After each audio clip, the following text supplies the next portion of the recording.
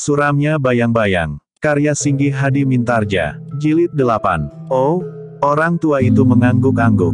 Jadi begitu. Agaknya aku salah tangkap. Aku kira, karena kehadiran penari itu, maka keluarga kepala tanah perdikan ini menjadi rusak. Kepala tanah perdikan itu ingin kawin dengan penari yang cantik itu, tetapi dengan menyingkirkan istrinya yang tua. Yang kemudian dinyatakan hilang. Kemudian dengan leluasa ia dapat kawin dengan penari jalanan itu. Apalagi setelah ayahnya, Ki Gede Semboyan, meninggal dunia. Tidak, tidak begitu, teriak pemimpin pengawal itu, kau jangan menyebarkan fitnah seperti itu. Aku tidak memfitnah, aku hanya mengatakan, bahwa ternyata aku salah mengerti. Aku mengira bahwa demikianlah yang terjadi. Pemimpin pengawal itu menjadi tegang. Namun kemudian ia menarik nafas dalam-dalam. Katanya, sekarang pergilah. Jangan memasuki tanah perdikan ini lagi demi keselamatanmu. Pengendang yang tua itu menjawab, baiklah kisanak. Kami akan meninggalkan tempat ini. Agaknya Ki Wiradana telah tersinggung oleh kehadiran kami, justru karena Nyai Wiradana juga seorang penari jalanan. Atau barangkali Nyai Wiradana yang tersinggung karena kehadiran kami dapat mengungkit kembali kenangannya kepada masa lampaunya. Pemimpin pengawal itu tidak menjawab. Kemungkinan yang demikian memang ada. Tetapi agaknya Wiradana ingin melepaskan kesan, bahwa penari itu adalah Iswari, istrinya yang pernah hilang. Bukan karena sebab yang lain, meskipun sebab yang lain itu mungkin pula dapat terjadi. Sejenak kemudian, maka rombongan penari itu pun telah berkemas. Mereka pun kemudian telah meninggalkan tanah perdikan semboyan, sementara para pengawal itu mengamati mereka dengan jantung yang berdebaran. Namun demikian rombongan itu hilang di kelok jalan, dan obor kecilnya sudah tidak nampak lagi di mata para pengawal, maka pemimpin pengawal itu menarik nafas dalam-dalam. Namun salah seorang pengawalnya kemudian berkata, sekelompok orang-orang gila yang berbahaya. Iya, jawab yang lain, lalu, tetapi apa yang harus kita laporkan kepada Ki Wiradana tentang mereka? Pemimpin pengawal itu pun kemudian berdiri menghadap kepada para pengawal sambil berkata, kita dihadapkan pada satu keadaan yang tidak mungkin dapat kita atasi. Kita tidak dapat ingkar bahwa kita tidak akan dapat mengalahkan mereka. Kita belum mencoba mempergunakan senjata, jawab salah seorang di antara mereka. Sudah aku katakan, jawab pemimpin pengawal itu. Mungkin bukan mereka yang akan menjadi korban ujung-ujung senjata, tetapi kita. Tetapi apa yang dapat kita katakan kepada Ki Wiradana? Sekali lagi seorang pengawal bertanya. Pemimpin pengawal itu menjadi bingung. Ia memang harus mempertanggungjawabkan tugas yang dibebankan kepadanya. Namun kemudian katanya, kita dapat mengatakan kepada Ki Wiradana, bahwa kita tidak menemukan rombongan penari itu. Kita dapat melaporkan bahwa ketika kita tiba di padukuhan itu, rombongan penari itu telah dipaksa untuk meninggalkan padukuhan oleh para penghuni padukuhan itu sendiri. Kita berusaha untuk menyusulnya, tetapi kita tidak berhasil menemukan mereka. Para pengawal itu saling berpandangan. Agaknya cara itu dapat ditempuhnya demi keselamatan mereka. Mungkin Ki Wiradana akan dapat mempercayainya dan tidak mempersoalkannya lebih jauh. Salah seorang di antara para pengawal itu berkata, memang tidak ada yang tahu apa yang telah terjadi. Karena itu, kita semuanya harus ikut bertanggung jawab. Hal ini tidak boleh diketahui oleh siapa pun juga, sehingga jika salah seorang di antara kita membocorkan persoalan ini dan kemudian terdengar oleh Ki Wiradana, maka kita semuanya akan mengalami kesulitan. Ya, sahut pemimpin kelompok itu. Kita semuanya harus sejalan. Yang akan kita katakan harus sama kepada siapa pun juga. Bahkan kepada orang-orang terdekat di antara kita. Ayah ibu kita, saudara-saudara kita dan siapa pun juga. Orang-orang dalam kelompok pengawal itu pun kemudian berjanji bahwa mereka akan memegang rahasia itu sebaik-baiknya, sehingga mereka tidak akan mengalami kesulitan karena sikap mereka itu. Ki Wiradana tidak akan percaya bahwa mereka tidak akan dapat mengalahkan para penabuh gamelan dari sebuah rombongan penari jalanan yang jumlahnya jauh lebih sedikit dari jumlah mereka sendiri. Dengan kebulatan tekad itulah maka mereka pun kemudian berbenah diri dan kembali ke induk padukuhan tanah perdikan semboyan. Seperti yang telah mereka rencanakan maka mereka pun kemudian langsung mencari Kiwiradana di rumahnya untuk menyampaikan laporan mereka. Tetapi agaknya Kiwiradana tidak menunggu mereka dan telah tertidur lelap, sehingga para pengawal itu harus menunggu sampai besok. Dengan demikian maka para pengawal itu pun sempat tidur di gardu, sementara para peronda duduk sambil mengumpat-umpat di bibir gardu, sementara beberapa orang pengawal yang lain telah berbaring di amben yang ada di serambi gandok dan di atas tikar pandan di pendapa. Waktu mereka memang tinggal sedikit sekali. Baru saja mereka lelap, maka terasa seseorang telah membangunkan mereka sambil membentak-bentak. Ternyata bahwa Kiwiradana telah terbangun lebih dahulu dari mereka. Apa yang kau kerjakan di sini hei? Bentak Kiwiradana kepada pemimpin pengawal yang tertidur di pendapa. Rasa-rasanya baru saja ia memejamkan matanya. Namun tergagap ia bangun. Kenapa kau tidak memberikan laporan kepadaku? Apa yang kau lakukan semalam hei? Bentak Wiradana pula. Maaf Ki Wiradana, aku baru saja datang. Agaknya Ki Wiradana pun baru saja lelap menurut para peronda, sehingga kami tidak ingin mengganggu dengan membangunkan Ki Wiradana. Maksudku kami akan menunggu sampai Ki Wiradana terbangun, jawab pemimpin pengawal itu. Ki Wiradana mengerutkan keningnya, kemudian katanya, kumpulkan kawanmu. Ceritakan hasil yang kau capai semalam. Pemimpin pengawal itu menjadi berdebar-debar. Namun kemudian ia pun telah mengumpulkan kawan-kawan yang tersebar. Kemudian mereka duduk di pendapa bersama Ki Wiradana dengan rambut dan pakaian yang masih kusut. Untuk beberapa saat, para pengawal itu memang masih dicengkam oleh keragu-raguan. Apakah Ki Wiradana tidak akan mengetahuinya jika mereka berbohong? Namun akhirnya pemimpin pengawal itu pun menceritakan sebagaimana mereka merencanakan. Jika Kiwiradana tidak percaya, ia akan bertanya kepada anak-anak muda padukuhan tempat rombongan penari itu kebar.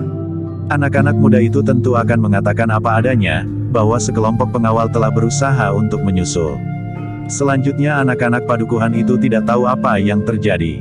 Mendengar laporan itu, wajah Kiwiradana menjadi merah. Kemarahannya telah bergejolak membakar jantung. Jadi kalian tidak dapat menemukan rombongan penari itu. Bentak Wiradana. Para pengawal itu menjadi berdebar-debar. Tetapi beban mereka akan lebih ringan jika mereka mengatakan, bahwa mereka tidak dapat menemukan rombongan penari itu, daripada jika mereka melaporkan apa yang sesungguhnya terjadi. Ki Wiradana tentu tidak akan percaya, bahwa mereka tidak dapat menangkap rombongan penari itu. Sebenarnya lah Wiradana menjadi marah sekali. Tetapi kemarahannya agaknya telah terbagi. Titik. Tidak semata-mata kepada para pengawal yang menurut pengakuannya gagal menemukan rombongan penari itu, tetapi juga kepada orang-orang di padukuhan tempat penari itu kebar. Karena itu, maka Ki Wiradana pun telah memerintahkan beberapa orang di antara para pengawal itu untuk pergi bersamanya ke padukuhan kecil itu.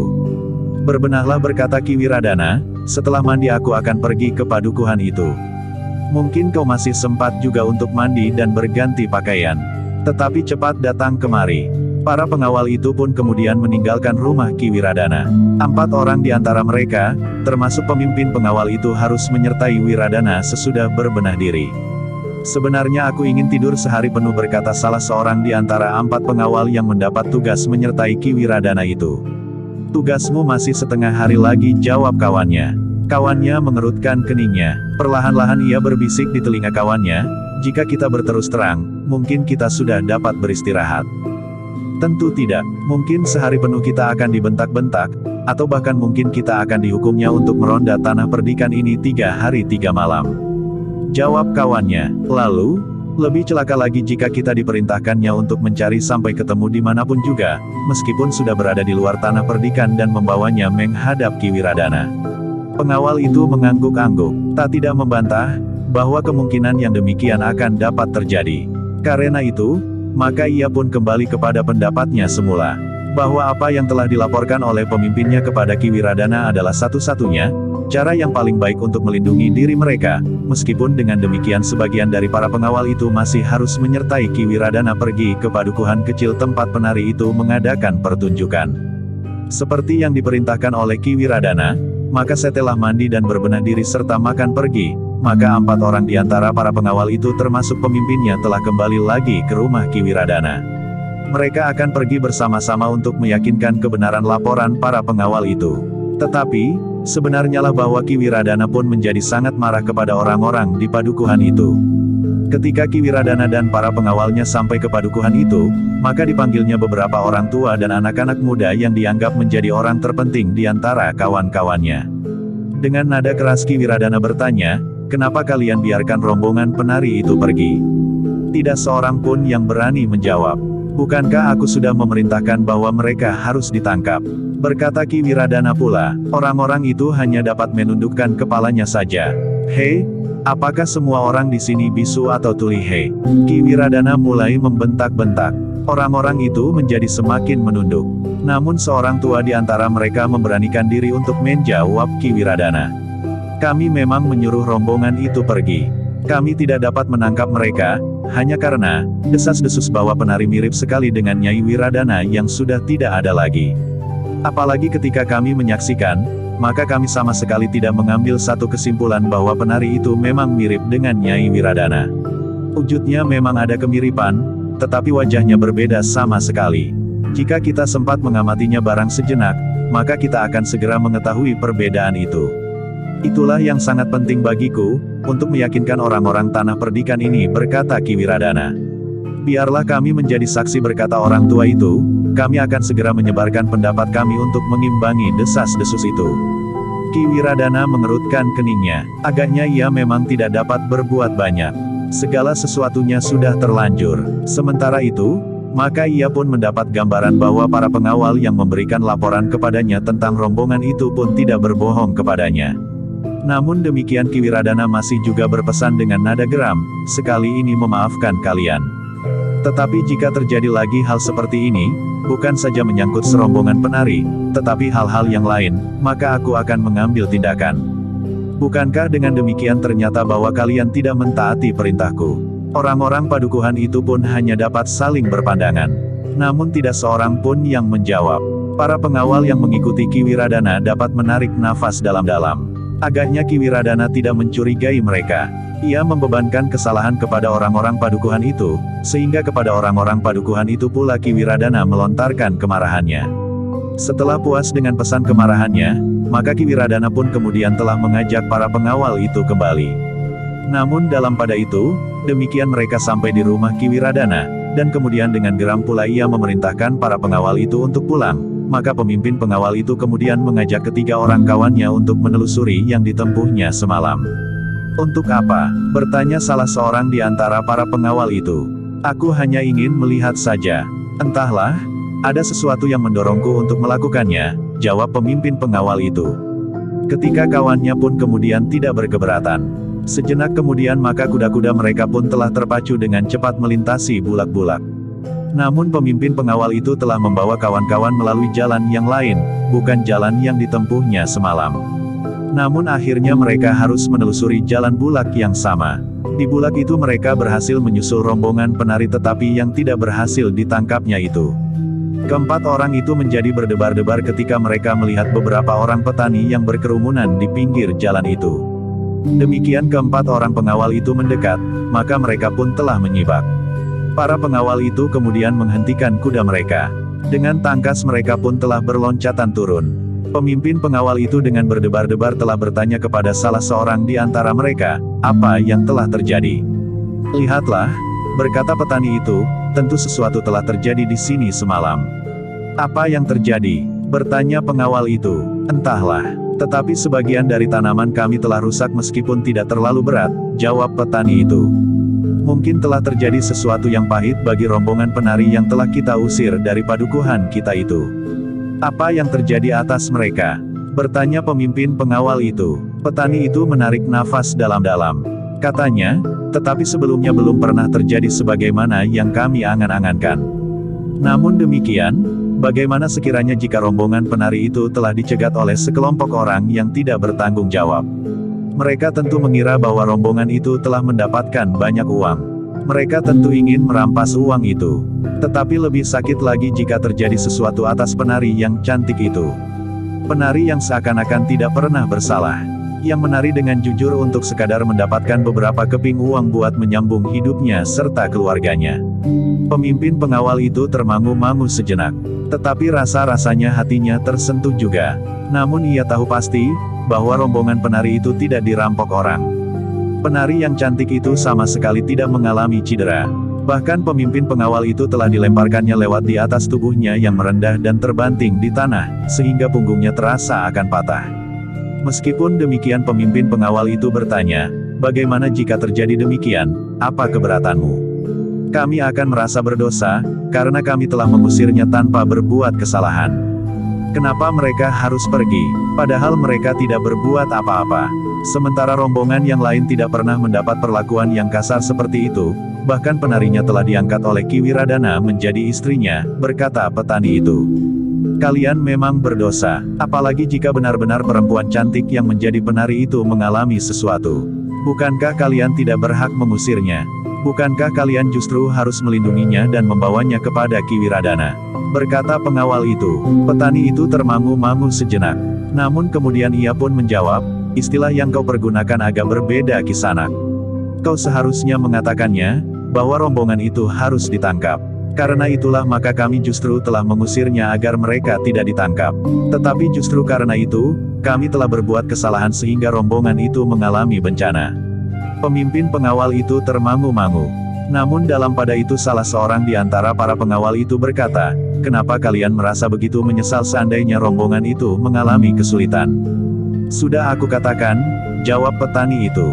Mereka adalah orang-orang yang tidak bersalah. Dan lebih dari itu, biarlah aku katakan meskipun ada orang lain yang mengingkarinya, bahwa penari itu memang mirip sekali dengan Nyai Wiradana. Bahkan seakan-akan aku yakin akan hal itu. Bohong, bentak pengawal yang lain. Seorang anak muda di gardu dan baru saja kami bertemu dengan orang-orang padukuhanmu, mengatakan, bahwa hanya wujudnya sajalah yang mirip. Tetapi wajahnya jauh berbeda dengan wajah Nyai Wiradana. Tetapi petani itu sama sekali tidak menarik keterangannya. Bahkan dengan wajah yang tegang ia menjawab, aku tidak peduli pendapat orang lain. Sudah aku katakan, mungkin memang ada orang yang mengingkarinya. Tetapi aku tidak, aku tetap menganggap bahwa penari itu mempunyai wajah yang mirip sekali dengan Nyai Wiradana. Tetapi seandainya ia mempunyai wajah yang mirip dengan Nyai Wiradana, apakah orang itu dapat dianggap bersalah? Tidak, orang itu mirip dengan Nyai Wiradana, tetapi orang itu tidak bersalah sama sekali. Pengawal itu menggeram, kemarahan telah membayang di wajahnya. Namun pemimpin pengawalnya mencegahnya ketika orang itu melangkah mendekat. Jangan kau hiraukan, ia dapat mengatakan apa saja. Mungkin apa yang kau lihat, berbeda dengan sudut penglihatannya. Demikian juga orang yang lain. Mungkin orang itu justru sudah lupa akan wajah dan sifat-sifat Nyai Wiradana, sehingga ia menganggap penari itu mirip sekali dengan orang yang sudah dilupakannya itu. Aku masih ingat benar, potong petani itu. Diam kau, bentak pemimpin pengawal itu. Aku sedang berusaha melerai perselisihan ini. Jika kau nekat saja dengan sikapmu tanpa mundur setapak pun, aku biarkan pengawal itu mengambil sikap pula. Petani itu mengerutkan keningnya, namun ia mengerti maksud pemimpin pengawal itu, sehingga dengan demikian maka ia pun segera bergeser surut dan tidak mengatakan apa pun juga. Sejenak kemudian, maka pemimpin pengawal itu pun berkata, Baiklah, kami akan melanjutkan perjalanan. Tidak dirampok orang apalagi penari cantik itu. Meskipun aku belum melihat dengan jelas, karena hanya sekilas saja, maka aku tidak dapat menyebutnya. Tetapi aku yakin bahwa ia memang cantik. Kau pernah melihatnya? Tiba-tiba petani itu bertanya. Pemimpin pengawal itu termangu-mangu. Namun kemudian katanya, iya, hanya sekilas. Jauh sebelum orang-orang tanah perdikan ini mempersoalkan bahwa wajahnya mirip dengan Nyai Wiradana. Ketika aku sedang ronda maka aku melihat rombongan itu kebar di sudut sebuah padukuhan. Petani itu mengangguk-angguk, sementara para pengawal itu pun segera meneruskan perjalanan mereka. Mereka sengaja tidak mengambil jalan kembali. Tetapi mereka berjalan terus meskipun kemudian mengambil jalan melingkar dan kembali ke rumah masing-masing. Namun di sepanjang jalan mereka sempat berbincang tentang satu alasan yang mungkin harus mereka kemukakan jika datang laporan kepada Kiwiradana bahwa telah terjadi satu tindakan kekerasan di Bulak di daerah pinggiran tanah perdikan Semboyan. Mungkin rombongan itu justru telah dirampok, desis salah seorang pengawal itu. Pemimpinnya mengangguk-angguk, katanya, iya, alasan sebagaimana dikatakan oleh petani itu. Dengan demikian maka pendapat para petani itu justru telah diambil alih oleh para pengawal. Mereka akan membuat dugaan, bahwa rombongan itu telah dirampok orang seandainya ada laporan tentang kerusakan kecil pada sawah dan ladang di pinggir jalan, satu tempat yang telah dipergunakan sebagai arena perkelahian antara para pengawal dan rombongan penari yang gagal ditangkap itu. Tetapi agaknya laporan itu tidak sampai ke Wiradana. Agaknya para petani itu hanya sekadar membicarakan kerusakan itu di antara mereka sendiri. Bahkan sebagian dari mereka justru menaruh belas kasihan kepada rombongan penari yang mereka sangka telah dirampok orang. Namun dalam pada itu, pemimpin pengawal yang gagal menangkap rombongan penari itu tidak dapat mengingkari penglihatannya sendiri. Bagaimanapun juga, penari itu memang mirip sekali dengan Nyai Wiradana yang hilang itu, seperti yang dikatakan oleh petani di tengah bulak, di bekas tempat para pengawal bertempur dengan rombongan itu. Meskipun demikian pemimpin pengawal itu tidak dapat mengatakan hal itu kepada para pengawal. Para pengawal malam itu bertempur tanpa banyak menghiraukan penari yang dipersoalkan itu, sehingga mereka tidak banyak mengetahui, apakah perempuan itu mirip dengan Nyai Wiradana atau tidak. Sementara itu untuk beberapa waktu lamanya, tidak ada cerita tentang penari yang mirip dengan Nyai Wiradana itu. Orang-orang yang sekali-kali masih berbicara tentang perempuan itu, hanya sekadar berbisik-bisik di antara tetangga mereka, karena semua orang tanah perdikan semboyan mengetahui, bahwa Ki Wiradana tidak senang mendengar cerita tentang perempuan yang mirip dengan istrinya yang hilang itu. Namun dalam pada itu, Warsi sendirilah yang kemudian masih saja merasa gelisah. Ia merasa seolah-olah rombongan penari itu merupakan sindiran bagi kehadirannya di tanah perdikan. Meskipun Warsi tidak tahu persis, maksud dari rombongan penari itu, namun bahwa penari itu mirip dengan Nyai Wiradana yang hilang itu, seakan-akan merupakan satu kesengajaan dengan maksud tertentu. Dengan demikian, maka ada kecurigaan pada Warsi, bahwa yang dilakukan Wiradana terhadap istrinya itu telah diketahui oleh seseorang. Atau setidak-tidaknya ada pihak yang curiga terhadapnya. Karena itu, maka dengan caranya, Warsi pun telah menyampaikan kepada Ki Wiradana kemungkinan itu. Apakah kau beranggapan demikian? Bertanya Wiradana. Mungkin sekali Kakang. Karena tiba-tiba saja Nyai Wiradana itu telah hilang. Apa pun yang Kakang lakukan atas istri Kakang itu namun hilangnya telah menumbuhkan persoalan, berkata Warsi dengan nada dalam. Hanya serigala betina itu sajalah yang mengetahuinya, desis Wiradana. Namun dengan demikian, maka ada keinginan Wiradana untuk menemui perempuan itu lagi. Mungkin ia akan dapat memberikan keyakinan, bahwa persoalan itu tidak diketahui oleh siapa pun juga kecuali Wiradana sendiri. Jika ternyata perempuan itu berkhianat dan menceritakan persoalan ini kepada orang lain, maka tidak ada pilihan lain kecuali membunuhnya, berkata Wiradana kepada diri sendiri. Dengan demikian, maka tanpa diketahui oleh orang lain, maka Wiradana pun telah pergi ke padukuhan kecil di luar tanah perdikan Semboyan. Ia ingin bertemu dengan perempuan yang pernah dimintanya untuk membunuh Iswari. Dalam malam yang gelap Wiradana menyusuri jalan kecil yang jarang dilalui orang, apalagi di malam hari. Ia berusaha untuk menghindari pertemuan dengan siapa pun, sehingga kepergiannya ke padukuhan itu tidak menumbuhkan kecurigaan bagi siapa pun juga. Namun dalam perjalanan Wiradana selalu digelitik oleh kegelisahan. Ada beberapa pertimbangan yang ingin dilakukan. Apakah cukup baginya untuk mendapatkan satu keyakinan yang lebih mantap bahwa Iswari telah dibunuh tanpa ada orang lain yang mengetahuinya? Atau ia harus bersikap lebih tegas lagi. Seandainya perempuan itu sampai saat terakhir tidak mengatakan apa pun juga kepada orang lain, tetapi apakah pada hari-hari mendatang ia juga tidak akan mengatakannya kepada siapa pun juga? Wiradana belum menemukan satu keputusan ketika ia sudah memasuki regol tua sebuah rumah kecil yang dihuni oleh perempuan yang pernah disebut serigala betina itu. Bagaimanapun juga terasa jantung Wiradana berdegupan. Sudah agak lama ia tidak berhubungan dengan perempuan itu mungkin telah terjadi satu perubahan.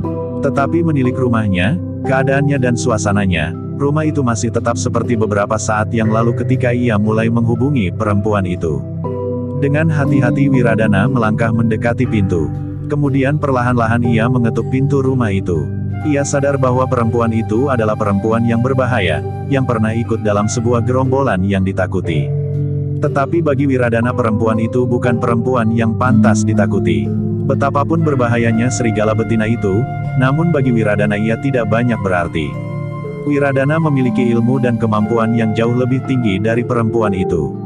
Sebagaimana diyakini oleh Wiradana, bahwa perempuan itu sangat takut kepadanya. Untuk beberapa saat Wiradana menunggu. Tetapi belum ada jawaban dari dalam.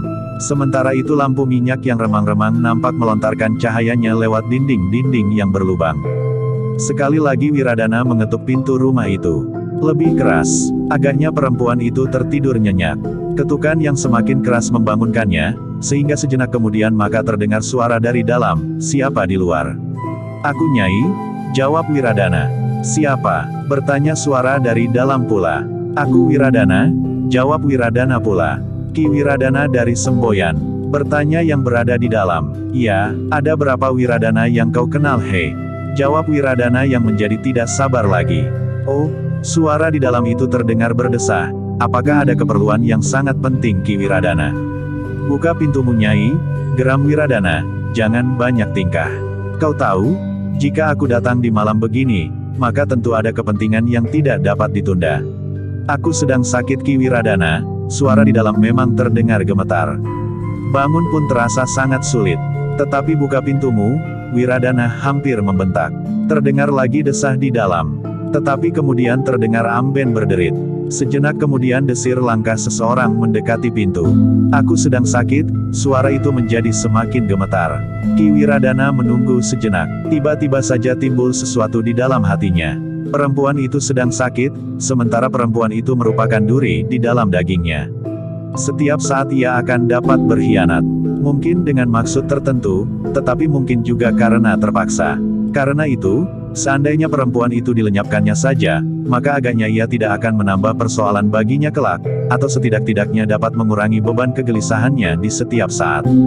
Sebelum Ki Wiradana mendapatkan suatu keputusan, maka terdengar selarak pintu sudah dibuka.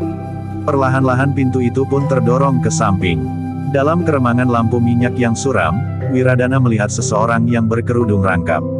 Oh, Desa perempuan itu dengan suara yang gemetar, marilah masuk Ki Wiradana.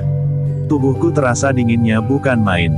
Jika aku terlalu lama berdiri di sini, aku akan dapat jatuh pingsan. Perempuan itu tidak menunggu Ki Wiradana menjawab. Dengan langkah yang gemetar pula ia berjalan ke sebuah amben di ruang tengah rumahnya yang kecil.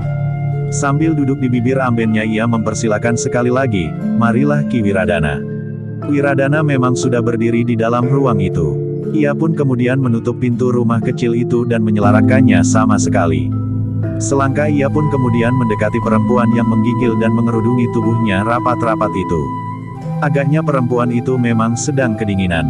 Duduklah, perempuan itu mempersilahkan tamunya dengan suaranya yang mengambang tetapi bergetar. Ki Wiradana termangu-mangu. Suara perempuan yang kedinginan itu sama sekali tidak dikenalnya sebagai suara serigala betina. Namun agaknya serigala betina yang sedang sakit itu, tidak dapat berbicara dengan wajar, sebagaimana kebiasaannya.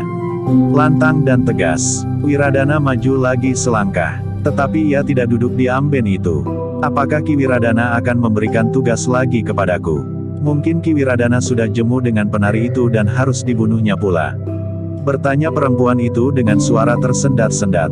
Tutup mulutmu, geram Ki Wiradana. Dengar perempuan liar, aku datang untuk meyakinkan, apakah benar-benar kau sudah melakukan tugasmu dengan baik?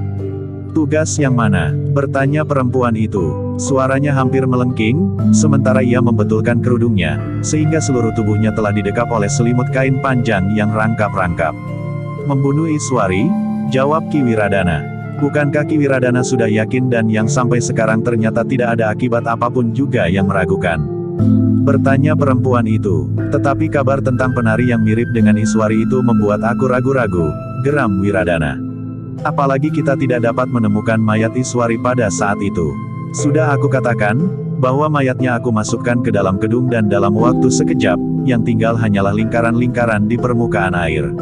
Tubuh itu telah diseret oleh buaya-buaya kerdil ke dasar kedung. Ki Wiradana termangu-mangu, dipandanginya tubuh perempuan yang sedang sakit itu. Namun tiba-tiba Wiradana berkata, berbaringlah.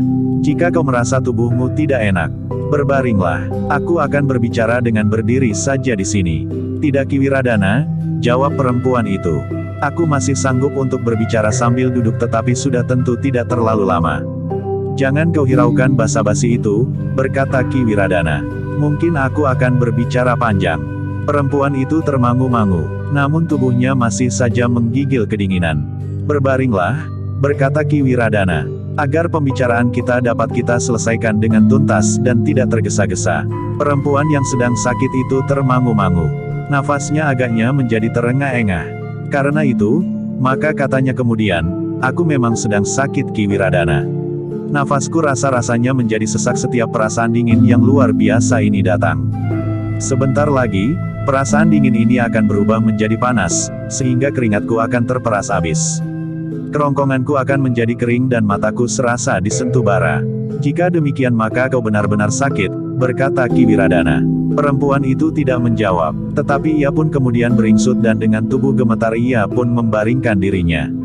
Menelentang dengan menjelujurkan tubuhnya lurus-lurus, meskipun ia masih membungkus tubuhnya dengan kain yang rangkap.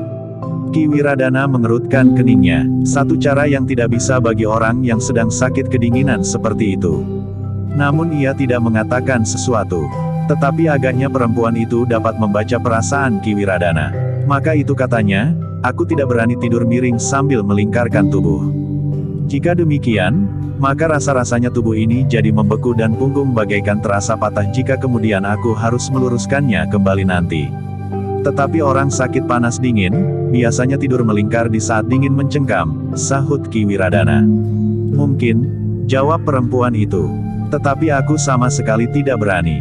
Ki Wiradana termangu-mangu sejenak. Dipandanginya perempuan yang berkerudung hingga ke wajahnya sekali lagi. Hanya sepasang mata sajalah yang kelihatan, sementara kedua telapak tangannya terbungkus pula di bawah kain selimutnya. Pada saat yang demikian, tiba-tiba timbul satu niat di hati Ki Wiradana untuk menyelesaikan saja perempuan yang sedang sakit itu, sehingga tidak akan menimbulkan persoalan di masa datang. Jika perempuan itu mati dalam keadaannya, maka orang-orang yang akan menemukannya kelak tentu mengira bahwa perempuan itu mati karena sakit. Tidak ada orang lain di rumah itu, sehingga tidak ada orang yang mengetahui apa yang telah terjadi. Karena itu, maka Wiradana pun menjadi berdebar-debar oleh rencananya sendiri. Jantungnya terasa berdetak semakin cepat. Namun demikian desakan di dalam dirinya untuk menyelesaikan saja perempuan itu terasa semakin menekan. Aku dapat menutup jalan pernafasannya, berkata Kiwiradana di dalam hatinya. Sehingga perempuan itu mati lemas. Tidak ada bekas luka di dalam dirinya, sementara selimutnya yang masih menyelubungi tubuhnya. Dalam kebimbangan itu, hampir di luar sadarnya Wiradana telah bertanya, sudah berapa hari kau sakit nyai? Nafas perempuan itu masih saja terengah-engah. Di sela-sela tarikan nafasnya yang sendat ia menjawab dengan suara gemetar, sudah agak lama Ki Wiradana.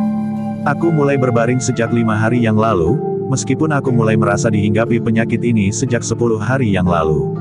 Lalu siapakah yang melayani sejak kau berbaring? Bertanya Ki Wiradana. Perempuan itu tidak segera menjawab. Tetapi terdengar perempuan itu merintih. Baru kemudian dengan suara sendat perempuan itu berkata, Aku masih harus melayani diriku sendiri. Aku tidak mempunyai anak, Ki Wiradana. Aku juga tidak mempunyai sanak kadang. Meskipun aku mempunyai sedikit uang, tetapi tidak ada orang yang bersedia membantuku dengan upah berapapun juga, karena mereka mengenali latar belakang hidupku. Ki Wiradana itu menarik nafas dalam-dalam.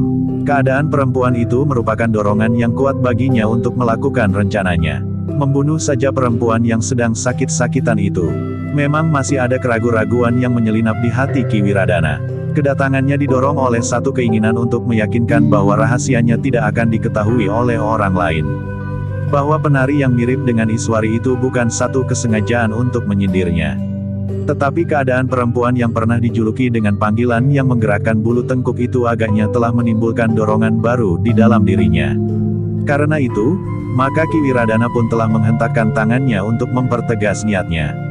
Selangkah demi selangkah ia mendekat.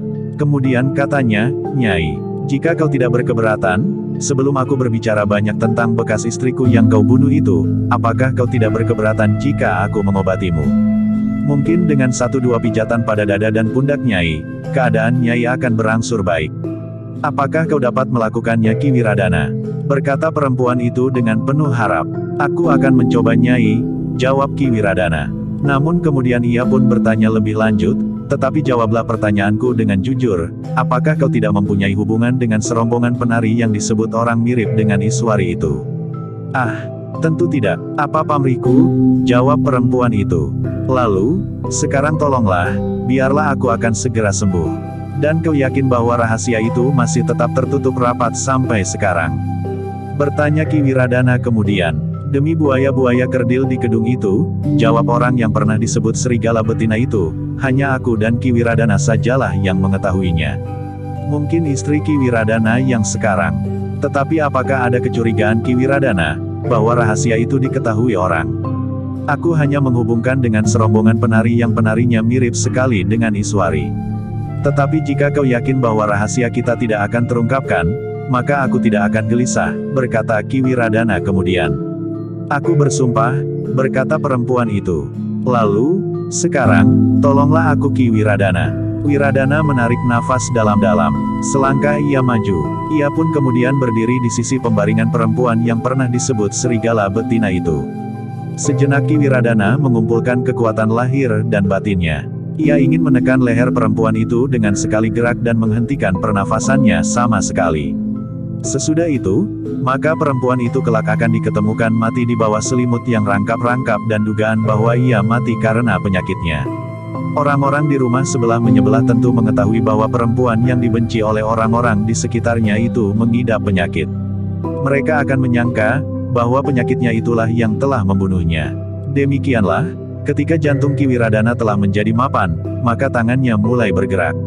Tetapi ia tidak memijit dada dan pundak perempuan itu sebagaimana dikatakan untuk dapat mengurangi penyakit di dalam diri perempuan itu, tetapi tangan Kiwiradana langsung menuju ke lehernya dan tiba-tiba saja satu cengkaman yang kuat telah menerkam leher perempuan itu. Terdengar perempuan itu memekik tertahan. Sementara itu Kiwiradana menekan leher itu semakin keras sambil menggeram, kau pantas untuk dibunuh perempuan liar. Perempuan itu meronta, tetapi tangan Kiwiradana mencengkam semakin keras. Wiradana yakin, bahwa ia akan menyelesaikan perempuan itu dengan mudah. Sementara itu, tidak akan ada orang yang akan menuduhnya melakukan pembunuhan itu. Apalagi ia adalah pemangku jabatan kepala tanah perdikan Semboyan. Namun yang diduga oleh Ki Wiradana telah terjadi. Kedua tangan perempuan itu, tiba-tiba saja telah menyusup di antara tangan Ki Wiradana.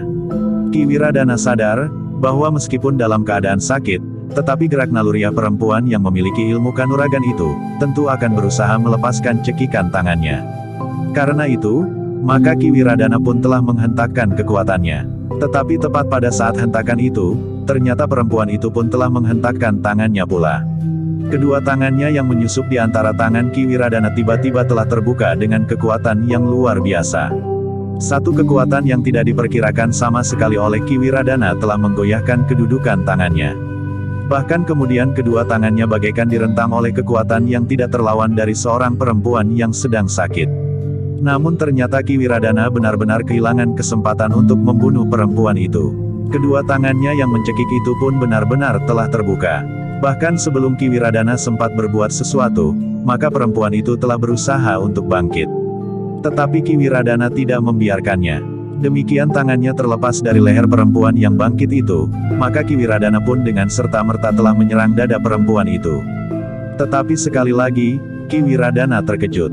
Serangannya sama sekali tidak menyentuh sasaran karena perempuan itu telah merebahkan dirinya yang baru saja bangkit itu. Namun sekaligus ia telah menangkap tangan Ki Wiradana. Oleh satu kekuatan yang tidak diduganya sama sekali, maka Ki Wiradana telah terseret dan terlempar melampaui lebar pembaringan perempuan itu, langsung membentur dan memecahkan dinding bambu. Wiradana mengumpat ketika ia terjatuh di bilik sebelahnya menghantam geledek bambu.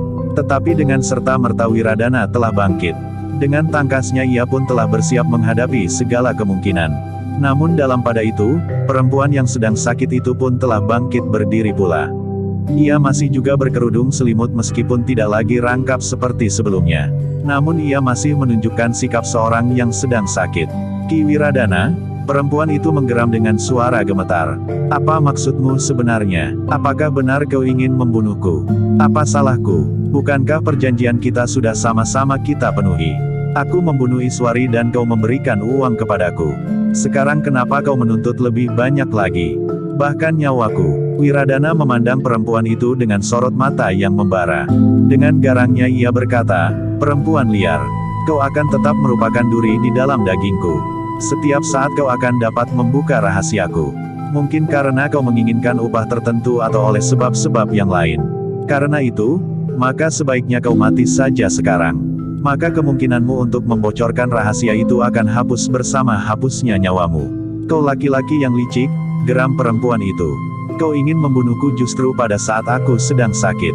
Meskipun demikian, aku tidak akan menyerahkan nyawaku dengan begitu mudah. Aku akan melawan sekalipun aku tahu bahwa kau memiliki ilmu yang tinggi, warisan dari Ki Gede di Semboyan. Tetapi kau pun harus ingat bahwa aku adalah yang disebut serigala betina, yang pernah membunuh orang tanpa mengedipkan mata. Nah, marilah, Jika kau masih tetap berniat membunuhku, maka biarlah aku atau kau yang akan terbunuh di sini. Bagaimanapun juga terasa tengkuk Ki Wiradana meremang. Serigala betina itu agaknya terlalu yakin akan dirinya. Seolah-olah ia memiliki ilmu yang seimbang dengan ilmunya. Namun ternyata pada hentakan pertama, perempuan itu berhasil melepaskan diri dari cengkeraman tangannya di lehernya. Dengan kekuatan yang tidak pernah diduganya, yang ternyata melampaui kekuatan cengkeramannya. Bahkan kemudian ia telah terlempar oleh kekuatan perempuan yang sedang sakit itu, menembus dinding bambu dan menimpa geledek di ruang sebelah. Namun Wiradana yang merasa dirinya memiliki ilmu yang jauh lebih tinggi dari serigala betina itu kemudian membentak dengan kasar, tutup mulutmu. Aku memang ingin membunuhmu dengan cara yang paling berperi kemanusiaan sehingga kau dengan cepat terbunuh tanpa merasakan sakit. Bahkan aku pun telah mempercepat kematianmu karena gigitan penyakitmu yang tidak mungkin dapat kau obati, sementara aku akan terlepas dari kecemasan bahwa pada suatu saat kau akan berkhianat dengan alasan apa pun juga. Tetapi kau ternyata terlalu banyak tingkah sehingga akan mempersulit jalan kematianmu sendiri. Kau kira, bahwa dengan melawan kau akan dapat bebas dari kematian. Apalagi kau sedang dalam keadaan sakit maka segala usahamu akan sia-sia. Bahkan hanya akan menambah penderitaan di saat kematianmu yang pahit ini. Jangan hanya banyak bicara saja anak manis berkata perempuan itu, jika kau memang mampu membunuhku, lakukanlah.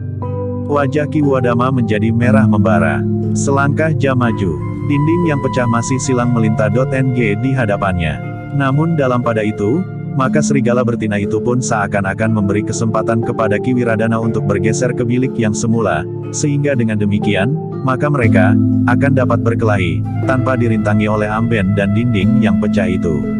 Wiradana pun bergeser setapak demi setapak, sementara perempuan itu sengaja melangkah surut.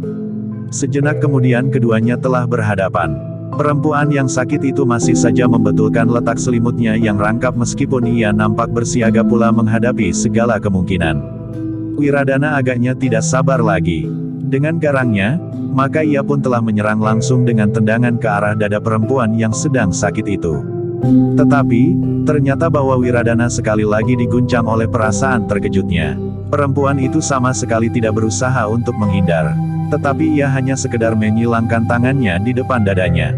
Dengan sengaja perempuan itu telah membenturkan kekuatannya. Ketika benturan itu terjadi, Wiradana seakan-akan tidak percaya pada kenyataan yang dihadapinya. Ternyata perempuan yang sedang sakit itu sama sekali tidak bergeser dari tempatnya. Tetapi justru Wiradana lah yang terpental dua langkah surut dan jatuh terbanting di lantai. Tetapi Wiradana itu pun berusaha dengan cepat bangkit. Demikian ia berdiri maka hampir saja ia telah terjatuh lagi. Namun dengan serta-merta, tangannya telah berpegangan pada tiang yang hampir saja membentur kepalanya. Kakinya yang menghantam tangan perempuan yang tersilang di dadanya itu rasa-rasanya akan patah. Dengan mengerahkan daya tahan tubuhnya, Wiradana mengatasi perasaan sakitnya. Sejenak kemudian, maka ia pun telah bersiap menghadapi segala kemungkinan. Namun, ia tidak lagi dapat menganggap perempuan itu perempuan yang dengan mudah akan dapat dibunuhnya. Seri gala betina yang dianggapnya memiliki kemampuan tidak lebih dari kemampuan perampok-perampok kecil kebanyakan itu ternyata memiliki ilmu yang tinggi. Sehingga Deagan demikian maka Kiwiradana itu pun harus benar-benar bertempur untuk dapat mengalahkannya dan membunuhnya. Sekali lagi Wiradana memusatkan kemampuannya. Perempuan yang sedang sakit itu masih saja berdiri sambil menggigil kedinginan. Ia masih juga, membetulkan kerudung dan selimut di seluruh tubuhnya. Perempuan gila geram Wiradana. Selangkah Wiradana maju. Namun tiba-tiba dengan kecepatan yang hampir tidak kasat mata, Wiradana menyerang dada perempuan itu dengan tangannya. Ternyata bahwa perempuan itu, hanya bergeser saja sedikit sambil berusaha untuk menangkis serangan itu. Namun Wiradana menarik serangannya. Sekali ia berputar bertumpu pada sebelah kakinya, sementara sebelah kakinya yang lain dalam putaran yang cepat menyerang lambung perempuan yang sedang sakit itu. Tetapi akibatnya justru parah bagi Wiradana. Perempuan itu berhasil menangkap kaki Wiradana. Wiradana yang merasa kakinya tertangkap oleh kecepatan gerak lawannya, dengan cepat berputar sambil menjatuhkan dirinya. Kakinya yang tertangkap itu dihentakannya dan dengan kakinya, yang lain ia berusaha untuk menyerang orang yang akan terseret oleh hentakan kakinya yang ditangkap itu. Tetapi ternyata Wiradana salah. Orang itu dengan begitu saja melepaskan kakinya dan sama sekali tidak berusaha untuk berbuat apa-apa. Wiradana mengumpat kasar. Sekali ia berguling dengan cepat. Kemudian meloncat bangkit. Bahkan dengan tiba-tiba saja ia telah menyerang pula dengan serangan tangan mendatar menyamping setinggi leher. Seperti yang diperhitungkannya, maka perempuan itu pun telah mengelak sambil merendahkan diri. Karena itu, dengan serta-merta, Wiradana telah menyerang wajah orang yang sedang merendah itu dengan kakinya sambil menarik serangan tangannya.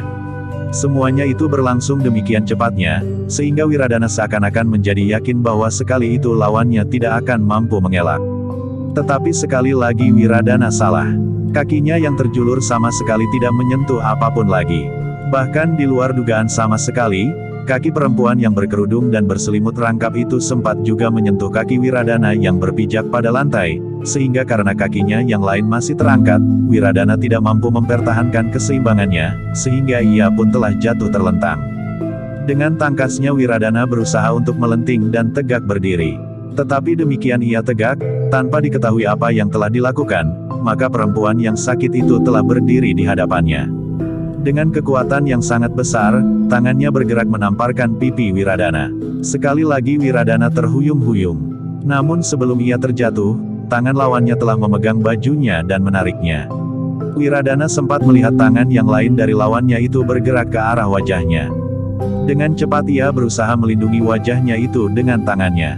Namun ternyata tangan lawannya itu ditariknya.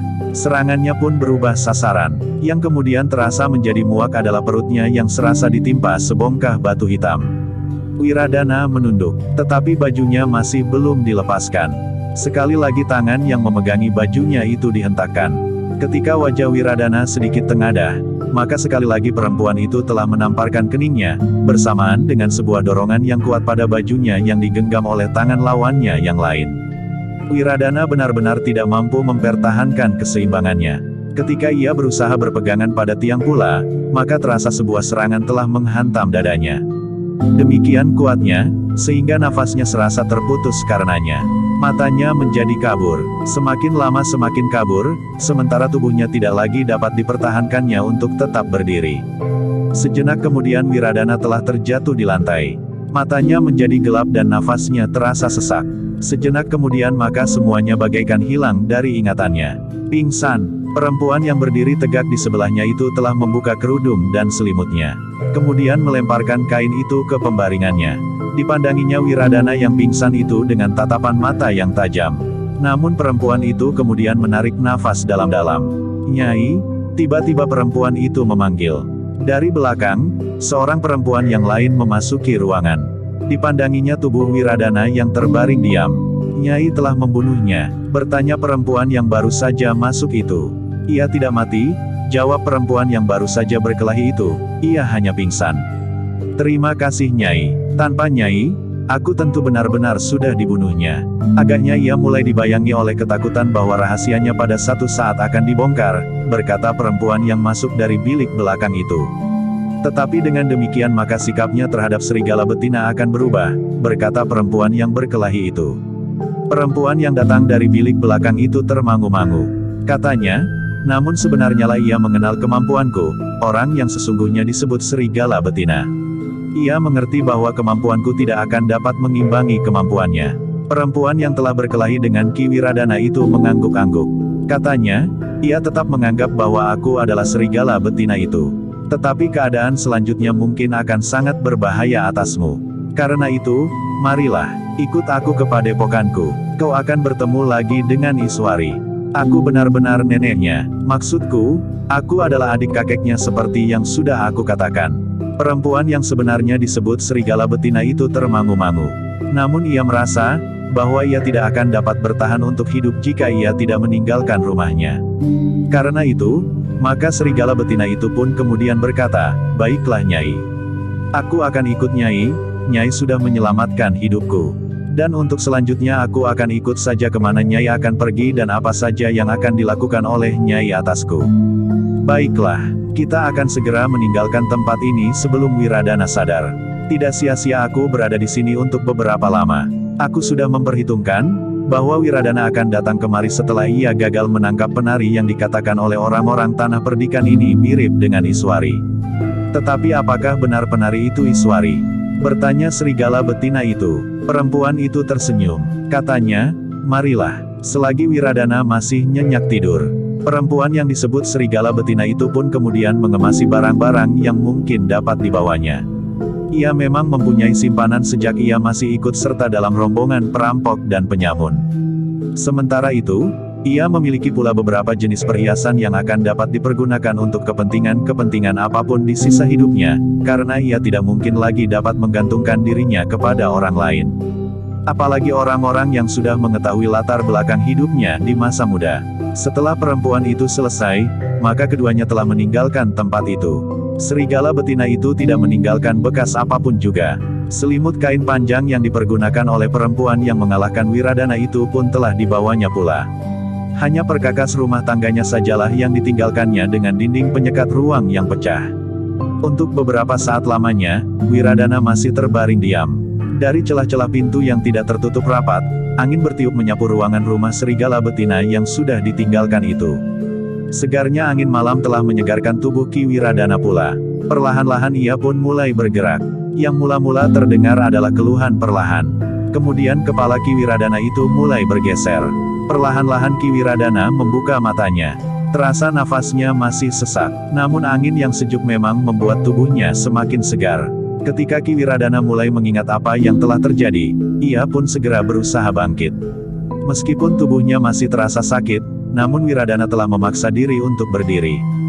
Diamatinya ruangan di sekelilingnya, pintu yang tidak tertutup rapat, dinding bambu yang pecah dan amben yang sudah kosong. Perempuan yang disangkanya serigala betina yang sedang sakit itu sudah tidak ada di dalam ruangan itu. Gila, Ki Wiradana mengumpat. Ia berhasil melarikan diri. Selangkah Ki Wiradana bergeser. Lampu minyak masih menyala tidak begitu besar, sehingga yang nampak hanyalah remang-remang saja. Wiradana pun kemudian berhasil mengingat sepenuhnya apa yang telah terjadi. Kepalanya masih terasa pening dan nafasnya masih saja seolah-olah tersendat-sendat. Aku harus menemukannya, berkata Ki Wiradana kemudian. Pada kesempatan lain, aku harus datang lagi dan membunuhnya. Sudah tentu dalam kesempatan yang tidak terlalu lama, agar ia belum mendapat kesempatan berkhianat. Wiradana pun kemudian berjalan ke pintu.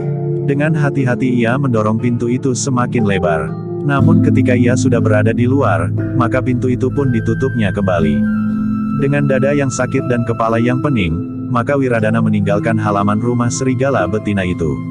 Memang ada keraguan-raguan padanya untuk pulang karena ia gagal membunuh perempuan yang disebut serigala betina itu. Namun akhirnya Kiwiradana itu pun menemukan akal untuk menutupi kelemahannya, karena tentu tidak masuk akal bahwa ia dapat dikalahkan oleh perempuan yang sedang sakit itu. Ketika Kiwiradana sampai ke regol rumahnya itu merasa ragu-ragu. Sejenak ia membenahi dirinya, kemudian dengan cepat ia melintasi regol yang tidak diselarak langsung menuju ke seketeng. Para peronda yang ada di regol termangu-mangu. Tetapi karena Wiradana berpaling pun tidak, maka mereka pun sama sekali tidak pula bertanya tentang sesuatu. Lewat pintu butulan, Wiradana memasuki rumahnya. Seorang pembantunya mendengar pintu itu diketuk dan mendengar suara Wiradana memanggil sehingga karena itu, maka ia pun telah membuka selarak pintu. Tetapi ketika ia memasuki biliknya yang agak terang, ia pun tertegun. Istrinya yang bangkit dari pembaringannya karena derit pintu, terkejut melihat kehadiran Wiradana. Kakang, kau kenapa kakang? Bertanya istrinya dengan sangat cemas. Aku kenapa? Bertanya Wiradana. Ada noda-noda kebiruan di keningmu, berkata istrinya sambil meraba wajah Ki Wiradana. Wiradana menyeringai. Yang disebut noda-noda itu adalah bekas tangan perempuan yang dikiranya serigala betina. Bekas itu masih terasa sakit ketika disentuh oleh tangan istrinya. Apakah kau baru saja berkelahi? Bertanya Warsi yang mengenali noda-noda seperti itu. Wiradana tidak dapat mengelak, tetapi ia tidak dapat mengatakan kelemahannya bahwa ia sudah dikalahkan oleh perempuan yang disangkanya adalah serigala betina itu. Karena itu maka katanya, iya, aku memang baru saja berkelahi. Dengan siapa? Bertanya istrinya. Wiradana pun kemudian menceritakan bahwa ia memang pergi ke rumah serigala betina. Tetapi ternyata di rumah itu terdapat beberapa orang dari sebuah gerombolan perampok. Mungkin mereka orang-orang Kalamerta, berkata Wiradana kemudian. Warsi mengerutkan keningnya. Hampir di luar sadarnya ia menyahut, tentu bukan. Kau dapat memastikan bahwa mereka bukan para pengikut Kalamerta yang mendendam yang kemudian bekerja bersama dengan perempuan itu. Bertanya Wiradana. Wajah Warsi menjadi tegang. Tetapi ia tidak dapat menjawab. Meskipun demikian ia sama sekali tidak rela seandainya suaminya menjadikan para pengikut Kalamerta kambing hitam. Dalam pada itu, maka Wiradana pun berkata, besok malam aku akan kembali ke rumah itu. Aku harus menemukan mereka dan menangkap mereka semuanya. Aku akan membawa beberapa orang pengawal. Tetapi bagaimana yang terjadi atas kakang? Bertanya Warsi pula, aku sama sekali tidak menyangka bahwa di dalam rumah itu terdapat beberapa orang. Sebenarnya aku ingin mendapatkan kepastian bahwa serigala betina itu tidak berkhianat. Tetapi aku dijebak dalam perkelahian melawan beberapa orang. Aku tidak dapat mengelakkan segala serangan yang datang beruntun. Meskipun demikian, aku telah mengusir mereka. Sayang sekali aku tidak berhasil menangkap seorang pun di antara mereka, sehingga aku tidak dapat melacak kegiatan itu untuk selanjutnya, berkata Ki Wiradana. Wajah Warsi menjadi tegang. Bagaimanapun juga ia pun menjadi tersinggung bahwa suaminya telah mengalami cedera karena pokal beberapa orang, yang justru oleh suaminya disangka sisa-sisa gerombolan Kalamerta. Tetapi Warsi tidak dapat berbuat apa-apa. Ia masih belum menyatakan dirinya bahwa ia memiliki kemampuan yang justru lebih tinggi dari suaminya. Namun dalam pada itu Warsi pun bertanya, tetapi jika Kakang membawa perempuan ke rumah pengawal itu, apakah tidak akan menimbulkan persoalan dengan Ki Demang yang menguasai padukuhan itu? Aku akan datang dengan diam-diam, sehingga Ki Demang tidak akan mengetahuinya. Apalagi perempuan yang disebut serigala betina itu adalah perempuan yang dibenci oleh orang-orang di sekitarnya. Sehingga orang-orang di sekitarnya, bahkan mungkin Ki Demang akan bergembira jika perempuan itu terbunuh. Apalagi rumahnya kini telah dipergunakan untuk berkumpul para perampok dan penyamun. Agaknya perempuan itu telah menjadi kambuh lagi. Warsi mengangguk-angguk. Katanya, tetapi hati-hatilah kakang. Mungkin perempuan itu memang sangat licik, sehingga ia akan dapat berbuat apa saja untuk mencapai niatnya. Jangan cemas Warsi, aku adalah Wiradana, anak Ki Gede Semboyan. Aku akan dapat menyelesaikan setiap persoalan yang aku hadapi, berkata Wiradana kemudian. Warsi tidak menjawab lagi. Namun bagaimanapun juga ia menjadi cemas menilik keadaan suaminya, sementara perempuan yang disebut serigala betina itu masih belum dapat diselesaikan. Agaknya kemungkinan buruk akan dapat terjadi jika perempuan itu membongkar tingkah laku Wiradana. Demikianlah, maka Warsi pun kemudian mempersilahkan Wiradana untuk membersihkan diri dan kemudian pergi ke pembaringan. Dengan obat-obatan yang ada maka Warsi telah berusaha untuk mengobati noda-noda di wajah Wiradana dengan obat itu. Namun dalam pada itu, ketika Wiradana telah tertidur, Warsilah yang kemudian bangkit dari pembaringannya. Dengan diam-diam ia pergi keluar. Kemudian hilang di kegelapan tanpa setahu siapa pun juga. Warsi telah menyediakan jawaban jika seandainya Wiradana terbangun dan menanyakan ke mana ia pergi. Satu-satunya jawaban yang paling baik adalah pergi ke sungai, berkata Warsi kepada diri sendiri. Tetapi mudah-mudahan Kakang Wiradana yang letih itu akan tertidur nyenyak. Apalagi obat yang aku usapkan pada wajahnya mengandung reramuan yang dapat membuatnya tidur nyenyak. Dengan kemampuan seorang yang berilmu tinggi maka Warsi telah pergi ke padukuhan yang diketahuinya sebagai tempat tinggal serigala betina itu. Meskipun ia belum pernah datang ke rumah itu, tetapi dalam setiap pembicaraan dengan suaminya, maka ia dapat membayangkan di mana letak rumah itu. Beralaskan atas ketajaman penggeraitannya, maka ternyata Warsi dapat menemukan rumah itu. Tetapi ia tidak menemukan seorang pun. Rumah itu telah kosong, namun ia memang melihat bekas-bekas perkelahian yang terjadi. Dinding yang pecah, geledek yang terguling dan barang-barang yang berserakan. Memang mungkin sekali Kakang Wiradana harus berkelahi melawan beberapa orang, berkata Warsi di dalam hatinya. Tetapi ia merasa kecewa bahwa ia tidak dapat bertemu dengan perempuan yang disebut serigala betina itu. Jika Warsi sempat bertemu, maka perempuan yang disebut serigala betina itu benar-benar tidak berarti apa-apa baginya. Dengan demikian maka Warsi menjadi bertambah cemas. Perempuan yang luput dari tangan suaminya itu tentu akan dapat berkhianat. Karena itu, maka ia harus secepatnya diketemukannya. Namun tidak ada orang yang tahu ke mana perempuan itu pergi. Jika benar ia telah berada kembali di antara para perampok dan penyamun, mungkin ia telah kembali lagi berada di sarang-sarang penyamun itu.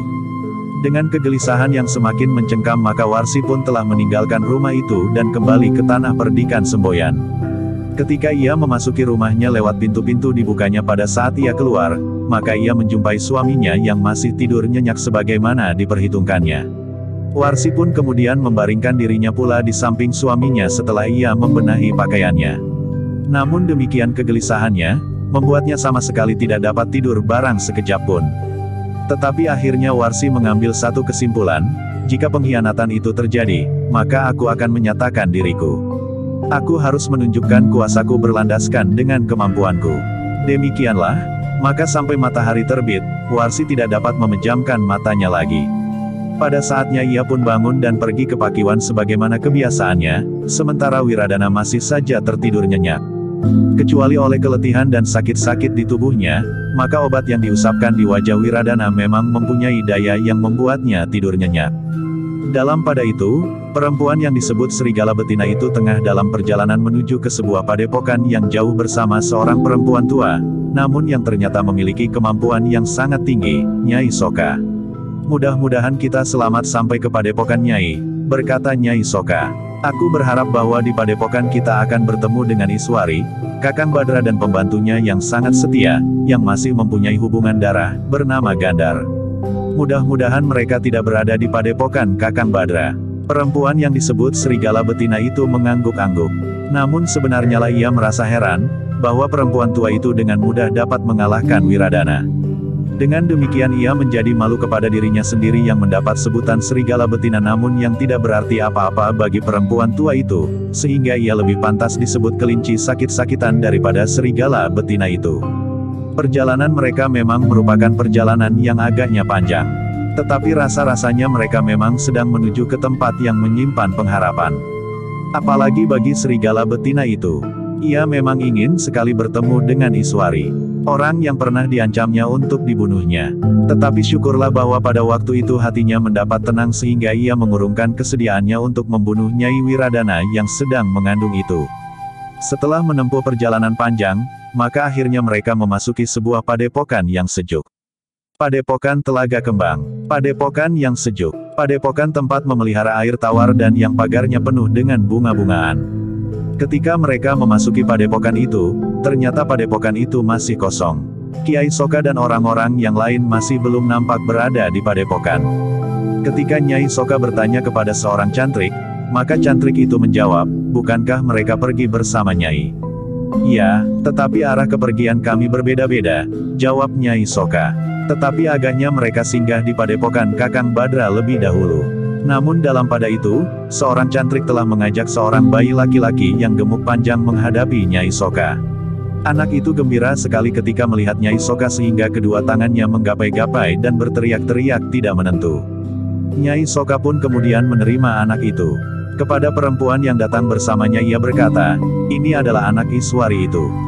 Oh, perempuan itu termangu-mangu. Terasa kerongkongannya menjadi panas. Anak itu adalah anak yang manis. Jika ia saat itu membunuh ibunya, maka anak itu pun tentu tidak akan pernah lahir di muka bumi. Tetapi untunglah, bahwa seakan-akan ada yang mencegah melakukannya. Ternyata perempuan yang untuk selamanya tidak pernah membayangkan akan mendapat seorang anak pun karena ia tidak pernah kawin itu, tertarik juga untuk menggendong anak yang manis itu. Ternyata anak Iswari adalah anak yang berani. Ia mau saja diajak oleh siapa pun juga. Bahkan di tangan perempuan yang belum pernah dikenalnya itu, Anak yang manis itu sempat juga melonjak-lonjak kegirangan. Oh, serigala betina itu pun menjadi gembira, anak ini tentu akan menjadi anak yang nakal sekali. Namun perempuan itu mengerutkan keningnya ketika ia teringat bahwa anak itu adalah anak Wiradana, seorang yang telah mencoba untuk membunuhnya. Tetapi neneknya sangat sayang kepadanya, berkata perempuan itu di dalam hatinya, kemudian, bahkan anak ini pun hampir saja menjadi korban ketamakan ayahnya sendiri lewat tanganku. Sejenak kemudian, maka digendongnya anak itu berkeliling padepokan bersama Nyai Soka untuk melihat-lihat dan menikmati sejuknya udara di padepokan. Agaknya mereka masih harus menunggu 2-3 hari lagi sampai saatnya Kiai Soka datang. Menurut perhitungan Nyai Soka, mereka tentu singgah dahulu di padepokan Kiai Badra untuk 1-2 hari. Dalam pada itu, di tanah perdikan Semboyan, Wiradana telah memanggil lima orang terbaik dari para pengawalnya. Kelima orang itu telah diberinya petunjuk-petunjuk untuk melakukan tugas mereka di luar tanah perdikan semboyan. Kita tidak boleh membuang waktu, berkata Wiradana, demikian kita menemukannya, maka kita akan membunuhnya. Kelima orang pengawalnya mengangguk-angguk. Namun mereka menjadi berdebar-debar juga. Meskipun setiap kali Wiradana mengatakan bahwa sasaran mereka tidak lebih dari perempuan sakit-sakitan. Ketika rencana itu didengar oleh Warsi, maka ia telah berusaha mencegahnya. Meskipun Warsi tidak dapat berkata berterus terang bahwa ia pernah datang pula ke rumah serigala betina yang kosong, namun Warsi dapat mengatakan, perempuan itu tentu tidak akan berani lagi berada di rumahnya. Ia akan pergi dan hidup di sarang para perampok dan penyamun.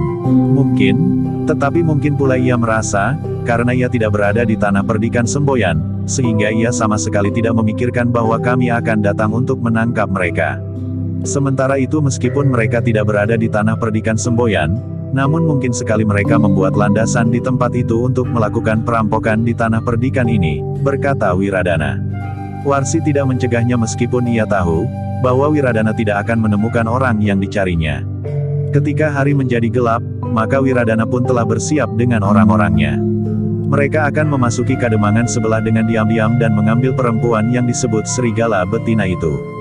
Namun pada pengawalnya dan juga Warsi menggambarkan, bahwa seandainya Wiradana masih menemukan perempuan yang dicarinya, maka akan terjadi pertempuran melawan para perampok dan penyamun yang ada di rumah perempuan itu. Karena itu, bagaimanapun juga, ada semacam kecemasan di hati Warsi. Karena itulah, maka ketika Wiradana kemudian berangkat ke padukuhan di luar tanah perdikan itu menjelang tengah malam. Warsi pun telah meninggalkan rumahnya pula dengan diam-diam. Ia mencemaskan nasib suaminya. Mungkin perempuan yang disebut serigala betina itu justru akan memanggil kawan-kawan lebih banyak lagi, sehingga suaminya yang hanya membawa lima orang pengawal itu akan terjebak oleh satu kekuatan yang tidak terlawan. Namun Warsi tidak dapat berkata terus terang, bahwa ia melibatkan diri dalam persoalan antara suaminya dengan perempuan yang disebut serigala betina itu. Demikianlah, maka Ki Wiradana bersama kelima orang pengawalnya memasuki kademangan di sebelah tanah perdikan itu dengan laku justru sebagai orang-orang yang ingin merampok. Mereka menyusup memasuki kademangan itu dengan menyusuri jalan-jalan setapak yang sepi. Kemudian meloncati dinding padukuhan dan menghindari gardu-gardu peronda. Namun ketika mereka sampai di rumah perempuan yang disebut serigala betina itu, maka rumah itu telah menjadi kosong. Mereka tidak melihat seorang pun yang ada di rumah itu, Selain bilik-bilik yang kotor, dinding yang pecah dan geledek yang terguling. Gila, geram Wiradana. Mereka benar-benar telah pergi. Ya, jawab salah seorang dari pengawalnya, tidak ada tanda-tanda bahwa rumah ini ditempati oleh seseorang. Wajah Wiradana menjadi tegang. Kepergian perempuan itu akan dapat menumbuhkan persoalan baru padanya. Mungkin perempuan itu akan membuka rahasia, bahkan mungkin disertai fitnah yang lebih jahat lagi. Tetapi Wiradana tidak dapat berbuat apa-apa. Perempuan itu benar-benar telah pergi dan tidak diketahui arah kepergiannya. Karena itu, betapapun kesalnya Wiradana, maka yang dapat dilakukannya kemudian adalah kembali dengan tidak berhasil melakukan sesuatu.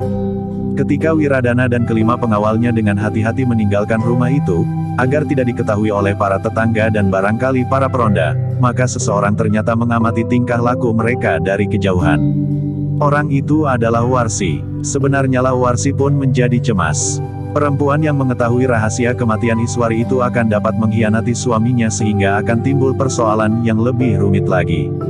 Tidak ada jalan lain berkata Warsi di dalam hatinya. Aku harus mengundang kekuatan yang akan dapat mendukung kedudukan Wiradana, karena dengan demikian, maka keturunanku kelak akan dapat mewarisi tanah perdikan ini. Warsi menarik nafas dalam-dalam. Namun sebenarnya lah bahwa Warsi memang mencintai Wiradana.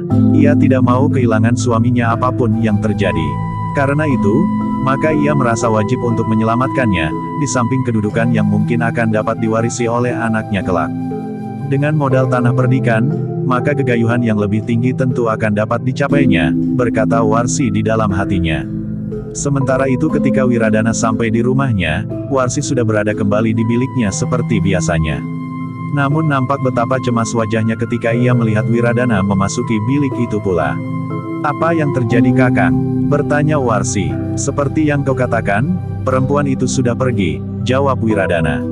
Warsi menarik nafas dalam-dalam. Ia berusaha untuk memberikan kesan bahwa ia tidak mengetahui akan hal itu. Namun dalam pada itu, Warsi pun harus mulai berpikir, jika pada suatu saat perempuan itu berkhianat, maka apakah yang sebaiknya harus dilakukannya? Persoalan itu pun dihubungkannya dengan serombongan penari yang telah menggelisahkan tanah perdikan semboyan. Bahkan Warsi berpikir lebih jauh lagi, bahwa telah terjadi satu permainan yang sangat rumit yang masih belum dapat dipecahkannya. Warsi memang tidak begitu percaya kepada kecerdasan berpikir suaminya. Ia memang mencintai suaminya, tetapi baginya suaminya tidak lebih dari seorang laki-laki yang tampan, yang menarik hati perempuan tetapi yang otaknya tumpul dan tidak mempunyai pengamatan yang jauh ke depan.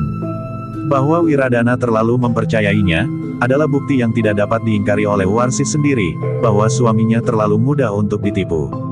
Sehingga justru karena itu, maka Warsi pun mempunyai pendapat seperti itu terhadap suaminya, dalam hubungannya dengan orang-orang lain. Mungkin sekali Wiradana juga ditipu oleh iblis betina itu, berkata Warsi di dalam hatinya. Bahkan mungkin Iswari itu tidak dibunuhnya dan penari itu memang Iswari itu sendiri. Wajah Warsi menjadi tegang, tetapi ia bukan perempuan yang cukup menyerah kepada kebingungan dan putus asa. Ia adalah seorang yang mempunyai tekad yang menyala di dalam dadanya. Karena itu, maka ia pun sudah bertekad, bahwa pada suatu ketika ia tidak akan dapat bersembunyi lagi. Ia harus menunjukkan dirinya yang sebenarnya, sementara suaminya harus tunduk kepadanya.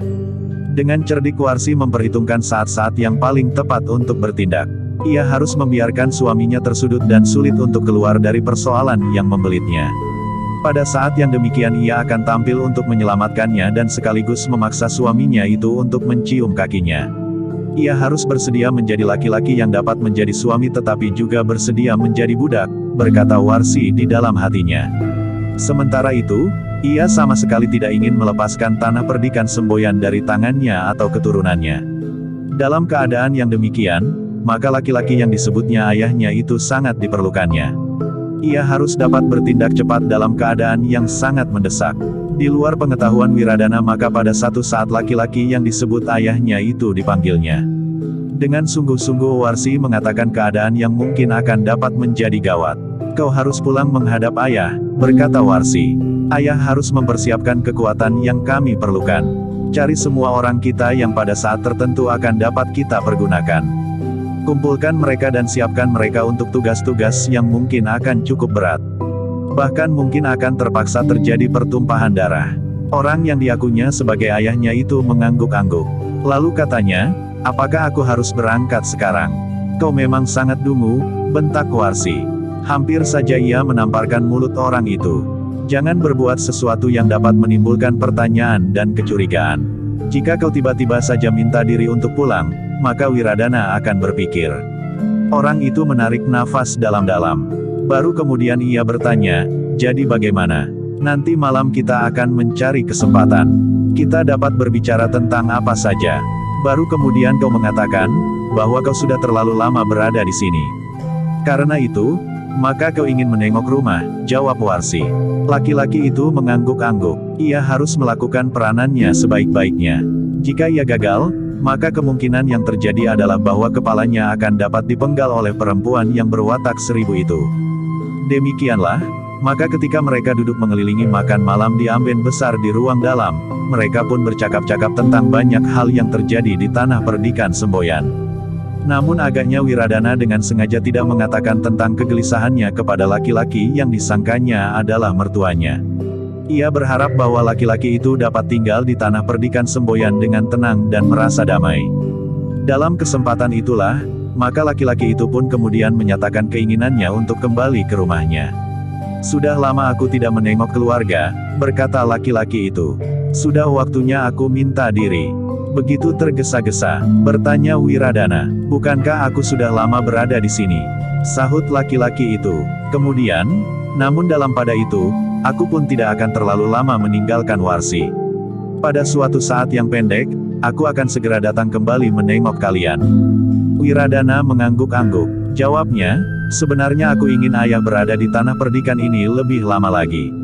Terima kasih. Bukankah aku akan sering datang berkunjung? Berkata laki-laki itu pula, Wiradana tidak mencegahnya. Bahkan ia pun merasa lapang, jika laki-laki itu tidak berada di tanah perdikan justru pada saat tanah perdikan itu bergolak. Karena itu, maka katanya kemudian, jika demikian ayah, maka silahkan. Tetapi sudah tentu dengan pengertian, bahwa setiap saat kami menunggu kedatangan ayah. Aku tidak akan sampai hati meninggalkan kalian terlalu lama, jawab laki-laki itu. Warsi masih terlalu muda, bukan umurnya tetapi pengalamannya sehingga ia memerlukan bimbingan yang terus-menerus. Mungkin dari suaminya, mungkin dari ayahnya. Wiradana mengangguk-angguk, tetapi Warsi sendiri mengumpat di dalam hati. Meskipun demikian kesan itu sama sekali tidak nampak di wajahnya. Bahkan wajahnya yang nampak luruh itu menunduk dalam-dalam. Wiradana tidak berusaha untuk menahan lebih lanjut. Ketika matahari kemudian terbit di keesokan harinya, maka Wiradana telah mempersiapkan segala sesuatunya yang akan dibawa oleh ayahnya. Bahkan ia telah menawarkan seekor kuda yang tegar untuk dipergunakan. Jika ayah ingin mempergunakan seekor kuda, maka kuda yang tegar yang merupakan kuda pilihan bagi tanah perdikan ini, dapat ayah pergunakan. Dengan demikian maka setiap kali ayah dapat menempuh perjalanan dengan waktu yang lebih singkat. Kuda itu memang sangat menarik, berkata laki-laki itu. Nampaknya aku akan sangat berterima kasih jika aku berkesempatan untuk mempergunakannya. Ternyata bahwa laki-laki itu kemudian memang mempergunakan seekor kuda yang tegar dan kuat. Sudah lama ia menginginkan kuda yang demikian. Karena itu maka tawaran Wiradana merupakan satu kebetulan yang sangat menyenangkan. Sejenak kemudian maka laki-laki itu pun telah berpacu meninggalkan tanah perdikan. Segala sesuatunya yang didengarnya dari Warsi memang harus segera disampaikan kepada ayah perempuan itu. Jika terlambat, maka segala impian Warsi akan lenyap ditiup oleh keadaan yang tidak diperhitungkannya sebelumnya. Perjalanan laki-laki yang disebut ayah Warsi itu memang jauh. Tetapi berkuda maka jarak itu terasa menjadi pendek. Karena itu, maka ia merasa begitu cepat sampai ke padukuhannya meskipun ia telah menempuh perjalanan hampir sehari semalam. Hanya pada saat-saat kudanya terasa letih sajalah ia berhenti untuk memberi kesempatan kudanya minum dan makan rerumputan segar di perjalanan. Tanpa beristirahat, maka laki-laki yang disebut ayah oleh Warsi itu pun kemudian telah mencari ayah Warsi yang sebenarnya. Nampak pada wajah dan sikapnya, bahwa ada sesuatu yang menggelisahkannya. Karena itu, maka ayah Warsi pun menjadi berdebar-debar pula. Apa yang telah terjadi? Bertanya ayah Warsi yang sebenarnya kepada laki-laki itu. Laki-laki itu pun menceritakan apa yang telah dialami oleh Warsi. Kegelisahan dan keadaan yang tidak menentu. Setiap saat keadaan di tanah perdikan itu akan dapat bergolak. Kenapa bergolak? Bertanya ayah Warsi. Bukankah segala keputusan ada di tangan Wiradana? Seandainya perempuan yang disebut serigala betina itu membuka rahasia Wiradana, maka Wiradana akan dapat menangkapnya dengan tuduhan bahwa perempuan itu telah memfitnahnya. Tetapi bagaimana jika Iswari itu memang masih hidup? Laki-laki itulah yang kemudian bertanya. Ayah Warsi menarik nafas dalam-dalam. Dengan nada datar ia bertanya, bagaimana menurut Warsi? Warsi tidak mempunyai jalan lain kecuali mempergunakan kekuatan. Jika rahasia itu terbongkar, maka tidak ada pilihan lain kecuali memaksa Wiradana untuk bersikap keras. Tetapi juga mendukungnya dengan kekuatan yang akan dapat melindunginya, jawab laki-laki itu. Ayah Warsi mengangguk-angguk, katanya, Warsi sudah benar. Tetapi ia tidak perlu merasa terlalu cemas menghadapi keadaan ini. Jika rahasia itu terbongkar, maka Wiradana dapat menakut-nakuti rakyatnya dengan tindakan kekerasan. Itulah yang dimaksud oleh Warsi, Jawab laki-laki itu. Aku mengerti, dan aku sudah membenarkannya. Karena langkah itu meyakinkan, maka Warsi tidak perlu menjadi gelisah atau ketakutan. Segalanya akan teratasi. Jika perlu harus jatuh korban untuk menunjukkan bahwa Wiradana dan Warsi tidak main-main, berkata ayah Warsi. Kemudian hubungan antara Warsi dan Wiradana pun akan berubah. Jika sampai saat ini Warsi adalah seorang perempuan yang manja dan lembut hati, bahkan agak cengeng, maka pada suatu saat ia akan menjadi perempuan yang garang. Dan Wiradana harus menerima kenyataan ini, berkata laki-laki itu. Ayah Warsi mengangguk-angguk. Katanya kemudian, hal itu tidak dapat diingkari. Biarlah yang akan terjadi itu terjadi. Bukankah Warsi menghendaki atau menyiapkan kekuatan yang setiap saat diperlukan? Laki-laki itu mengangguk. Baiklah, mulai besok aku akan bekerja keras. Aku memang menghendaki Warsi tidak menjadi korban dalam keadaan apa pun. Karena itu, maka kita harus dapat memenuhi kebutuhannya. Juga menyangkut kekuatan, berkata ayah Warsi. Laki-laki itu masih mengangguk-angguk. Ternyata ayah Warsi tahu tepat apa yang diperlukan anak perempuannya. Dengan demikian laki-laki itu tidak akan banyak mengalami kesulitan di dalam tugasnya. Sementara itu Warsi memang sudah berpesan, bahwa jika kekuatan yang diperlukan itu sudah siap, maka laki-laki yang disebut sebagai ayah Warsi itu harus datang lagi ke tanah perdikan Semboyan untuk memberitahukan hal itu kepada Warsi. Sehingga dengan demikian maka Warsi akan dapat mengambil langkah-langkah yang diperlukan untuk mengatasi persoalan yang mungkin akan memuncak di tanah perdikan itu. Dalam pada itu, sebenarnya bahwa ayah Warsi telah bekerja dengan cepat. Ia telah menghubungi beberapa orang pengikutnya dan mereka yang pernah disebut sebagai keluarga Kalamerta. Dengan kesetiaan yang tinggi, maka mereka telah menyatakan untuk tetap berada dalam lingkungan keluarga Kalamerta. Beberapa orang kemudian telah terkumpul. Orang-orang yang mempunyai kekuatan yang akan dapat membantu Warsi dalam keadaan yang sangat diperlukan. Bahkan orang-orang itu masih saja dibayangi pula oleh dendam karena kematian Kalamerta oleh Ki Gede Semboyan.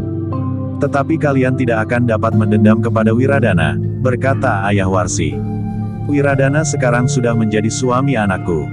Bagaimanapun juga Warsi mencintainya dan lebih daripada itu, keturunan Warsi kelak akan dapat menggantikannya menjadi seorang kepala tanah perdikan. Jika ia tidak mempunyai seorang anak laki-laki, maka menantunya lah yang akan menjadi kepala tanah perdikan. Tetapi orang-orang itu sudah merasa puas, ketika mereka telah mendengar bahwa Ki Gede Semboyan sendiri sudah terbunuh. Sehingga sasaran dendam yang sebenarnya sudah terselesaikan. Justru oleh Warsi sendiri. Sementara itu ayah Warsi pun kemudian berkata kepada bekas pengendang Warsi, agaknya aku sudah melakukan sebagaimana dikehendaki oleh anakku. Jika diperlukan, maka mereka akan dapat segera datang ke tanah perdikan Semboyan kapan saja untuk keperluan apa saja. Baiklah, berkata orang yang disebut ayah Warsi di tanah perdikan Semboyan itu. Aku akan segera kembali. Tetapi tentu tidak akan terlalu cepat, agar tidak justru menimbulkan pertanyaan. Namun meskipun demikian, kita wajib mengamati keadaan. Sebaiknya salah seorang dari kita, berada di sekitar tanah perdikan itu. Mungkin kita dapat menemui Warsi jika sekali-kali ia pergi berbelanja meskipun hal ini jarang sekali dilakukan. Namun pada suatu saat, Warsi juga pergi ke pasar. Mungkin Warsi memerlukan sesuatu. Jika demikian kenapa bukan kau sajalah yang pergi? Bertanya ayah Warsi, aku sudah banyak dikenal di tanah perdikan Semboyan, jawab orang itu. Ayah Warsi menarik nafas dalam-dalam. Namun tiba-tiba saja ia berkata, aku sendiri akan pergi ke tanah perdikan itu. Tetapi ingat, ayah Warsi adalah aku, berkata bekas pengendang itu. Ya, aku akan selalu ingat hal itu. Aku pinjam kudamu, kuda yang besar dan tegar. Lebih baik dari kuda yang mana pun yang kita miliki, berkata ayah Warsi. Sebenarnya aku tidak berkeberatan. Tetapi kuda itu adalah pemberian Wiradana. Jika orang-orang tanah perdikan itu mengenalinya, mungkin akan timbul persoalan lain tentang kuda itu, jawab bekas pengendang itu. Gila kau, geram ayah Warsi. Kau memang kikir sekali. Bukan aku yang kikir, jawab bekas pengendang itu. Tetapi terserah kepadamu. Kau tahu dari mana aku mendapatkan kuda itu. Persetan dengan kudamu. Aku akan pergi berjalan kaki. Aku akan membawa seorang kawan di perjalanan, berkata ayah Warsi kemudian. Dengan demikian, maka sudah menjadi keputusan, bahwa ayah Warsi akan pergi ke tanah perdikan Semboyan. Tetapi ia tidak akan langsung pergi ke rumah Warsi. Tetapi ia akan mencari kesempatan untuk dapat bertemu dengan Warsi, kemudian menentukan tempat untuk setiap kali dapat berbicara tentang persoalan-persoalan yang menyangkut Warsi, suaminya dan tanah perdikan Semboyan. Sementara itu, di Padepokan Telaga Kembang, Kiai Badra dan kawan-kawan telah berkumpul. Ternyata mereka memang singgah di Padepokan Kiai Badra untuk beberapa saat. Baru kemudian mereka pergi ke Padepokan Kiai Soka. Ketika Iswari yang datang bersama Kiai Badra dan kawan-kawan melihat perempuan yang disebut serigala betina itu, ia terkejut. Namun kemudian hampir di luar sadarnya, Iswari telah berlari dan memeluknya. Kapan kau datang Nyai? Bertanya Iswari ketika ia kemudian melepaskan pelukannya. Wajah perempuan itu menjadi tegang.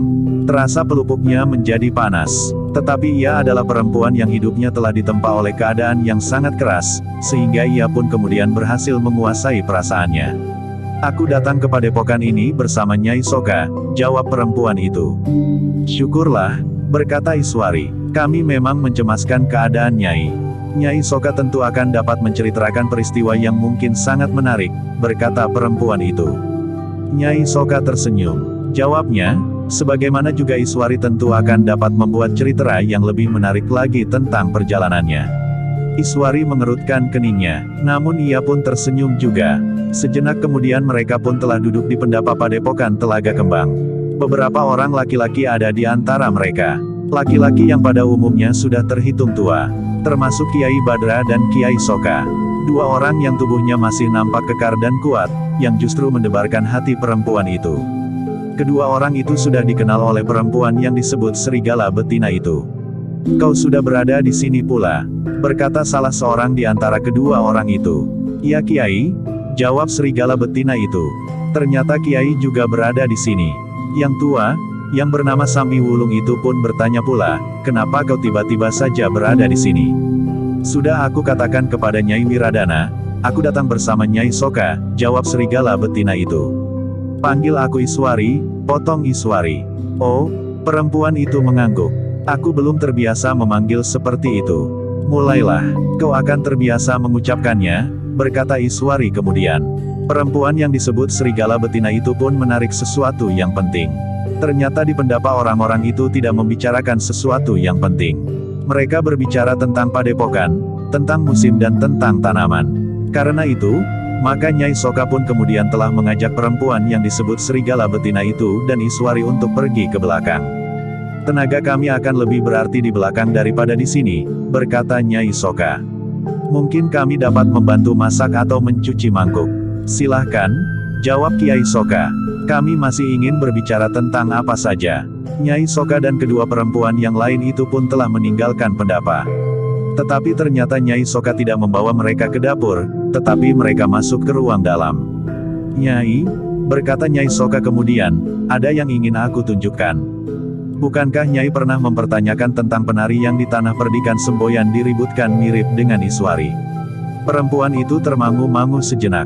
Namun kemudian ia pun mengangguk sambil menjawab, ya, aku memang pernah mempertanyakan hal itu. Bungkusan itu adalah bungkusan yang dibawa oleh salah seorang pembantu Kakang Badra.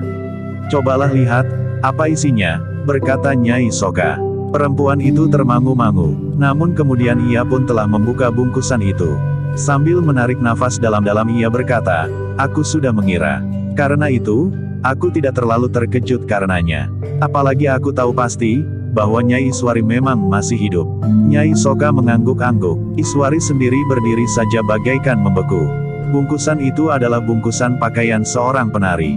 Nyai, berkata perempuan itu. Sebenarnya aku ingin orang-orang tanah perdikan semboyan seluruhnya sempat melihat sendiri, bahwa ada seorang penari yang mirip dengan Nyai Wiradana. Dengan demikian persoalannya akan cepat diselesaikan. Karena aku yakin, bahwa orang-orang tanah perdikan semboyan tentu sempat berpikir dan mengurai apa yang sebenarnya terjadi. Aku bersedia menjadi saksi dan memaparkan persoalan yang sesungguhnya itu kepada orang-orang tanah perdikan semboyan. Iswari tidak segera menjawab, tetapi matanya justru menjadi redup. Sementara itu, Nyai Sokalah yang menjawab, ada banyak pertimbangan pada hati Iswari. Perempuan yang disebut serigala betina itu mengangguk-angguk. Ia dapat mengerti perasaan Iswari yang sebenarnya lembut sebagaimana sikapnya. Meskipun suaminya telah berniat dan bahkan telah melakukan usaha untuk membunuhnya, tetapi agaknya sikap Iswari terhadap suaminya tidak akan mungkin sekeras sikap suaminya. Meskipun demikian, bukan berarti bahwa Iswari harus berdiam diri menghadapi sikap suaminya. Sebenarnya lah bahwa Nyai Soka pun memberikan beberapa pertimbangan kepada Iswari. Ia dapat saja memaafkan suaminya dan sama sekali tidak ingin membalas dendam. Tetapi ia tidak boleh mengorbankan tanah perdikan Semboyan. Mungkin Iswari memang tidak begitu berkepentingan dengan Semboyan, karena Iswari memang bukan orang perdikan itu. Tetapi anak laki-lakinya adalah pewaris tanah perdikan itu. Seandainya Wiradana mempunyai anak laki-laki yang lain, maka anak laki-laki Iswari adalah anaknya yang pertama. Ia adalah orang yang paling berhak mewarisi tanah perdikan itu kelak. Sementara itu, perempuan yang juga disebut serigala betina itu pun kemudian mengetahui selengkapnya tentang rombongan penari yang penarinya mirip sekali dengan Iswari, karena penarinya memang Iswari itu sendiri. Sementara pengiringnya adalah orang-orang tua yang memiliki ilmu yang sangat tinggi. Di samping dari perguruan Guntur Geni itu pun telah menggabungkan diri pula bersama mereka, ditambah dua orang putut yang dianggap sudah memiliki kemampuan yang memadai dari perguruan Telaga Kembang. Karena itulah, maka rombongan penari yang satu ini sudah barang tentu akan merupakan rombongan penari yang tidak biasa sebagaimana rombongan-rombongan yang lain. Dalam keadaan tertentu rombongan penari ini akan dapat menghadapi kekuatan yang betapapun besarnya. Dalam pada itu, orang-orang yang berada di pendapat ternyata telah membicarakan kemungkinan-kemungkinan yang akan dapat terjadi. Ketika kemudian Iswari keluar sambil menggendong anaknya, maka Kiai Soka pun telah memanggilnya. Duduklah, berkata Kiai Soka. Bukankah anakmu tidak menangis? Tidak kakek, jawab Iswari. Baiklah, dengarlah, berkata Kiai Soka. Rasa-rasanya kami bersepakat untuk meneruskan permainan kami sampai seluruh tanah perdikan yakin, bahwa kau masih tetap hidup. Wajah Iswari menunduk. Ia sama sekali tidak menjawab. Iswari, berkata Kiai Soka. Menurut Gandar, perempuan yang kemudian menjadi istri Wiradana itu adalah perempuan yang tentu memiliki ilmu yang sangat tinggi. Kau yang baru mulai, masih akan terpaut banyak. Jika kita tidak mulai sekarang maka semakin lama kedudukannya tentu akan semakin kuat. Ia tentu tidak berdiri sendiri, karena ia mempunyai kekuatan ilmu Kalamerta. Karena itu, bukankah lebih baik jika kita mulai seawal mungkin? Iswari mengangkat wajahnya sejenak, namun kemudian kembali wajah itu menunduk. Tidak ada yang dapat dikatakannya kepada Kiai Soka. Sementara itu, Kiai Badra sendiri hanya dapat memandangi cucunya tanpa berkata sepatah kata pun. Ia sependapat dengan Kiai Soka. Tetapi ia juga mengerti perasaan cucunya. Karena itu, maka ia menunggu perkembangan keadaan yang mungkin terjadi. Dalam pada itu, Kiai Soka pun kemudian berkata, Baiklah Iswari.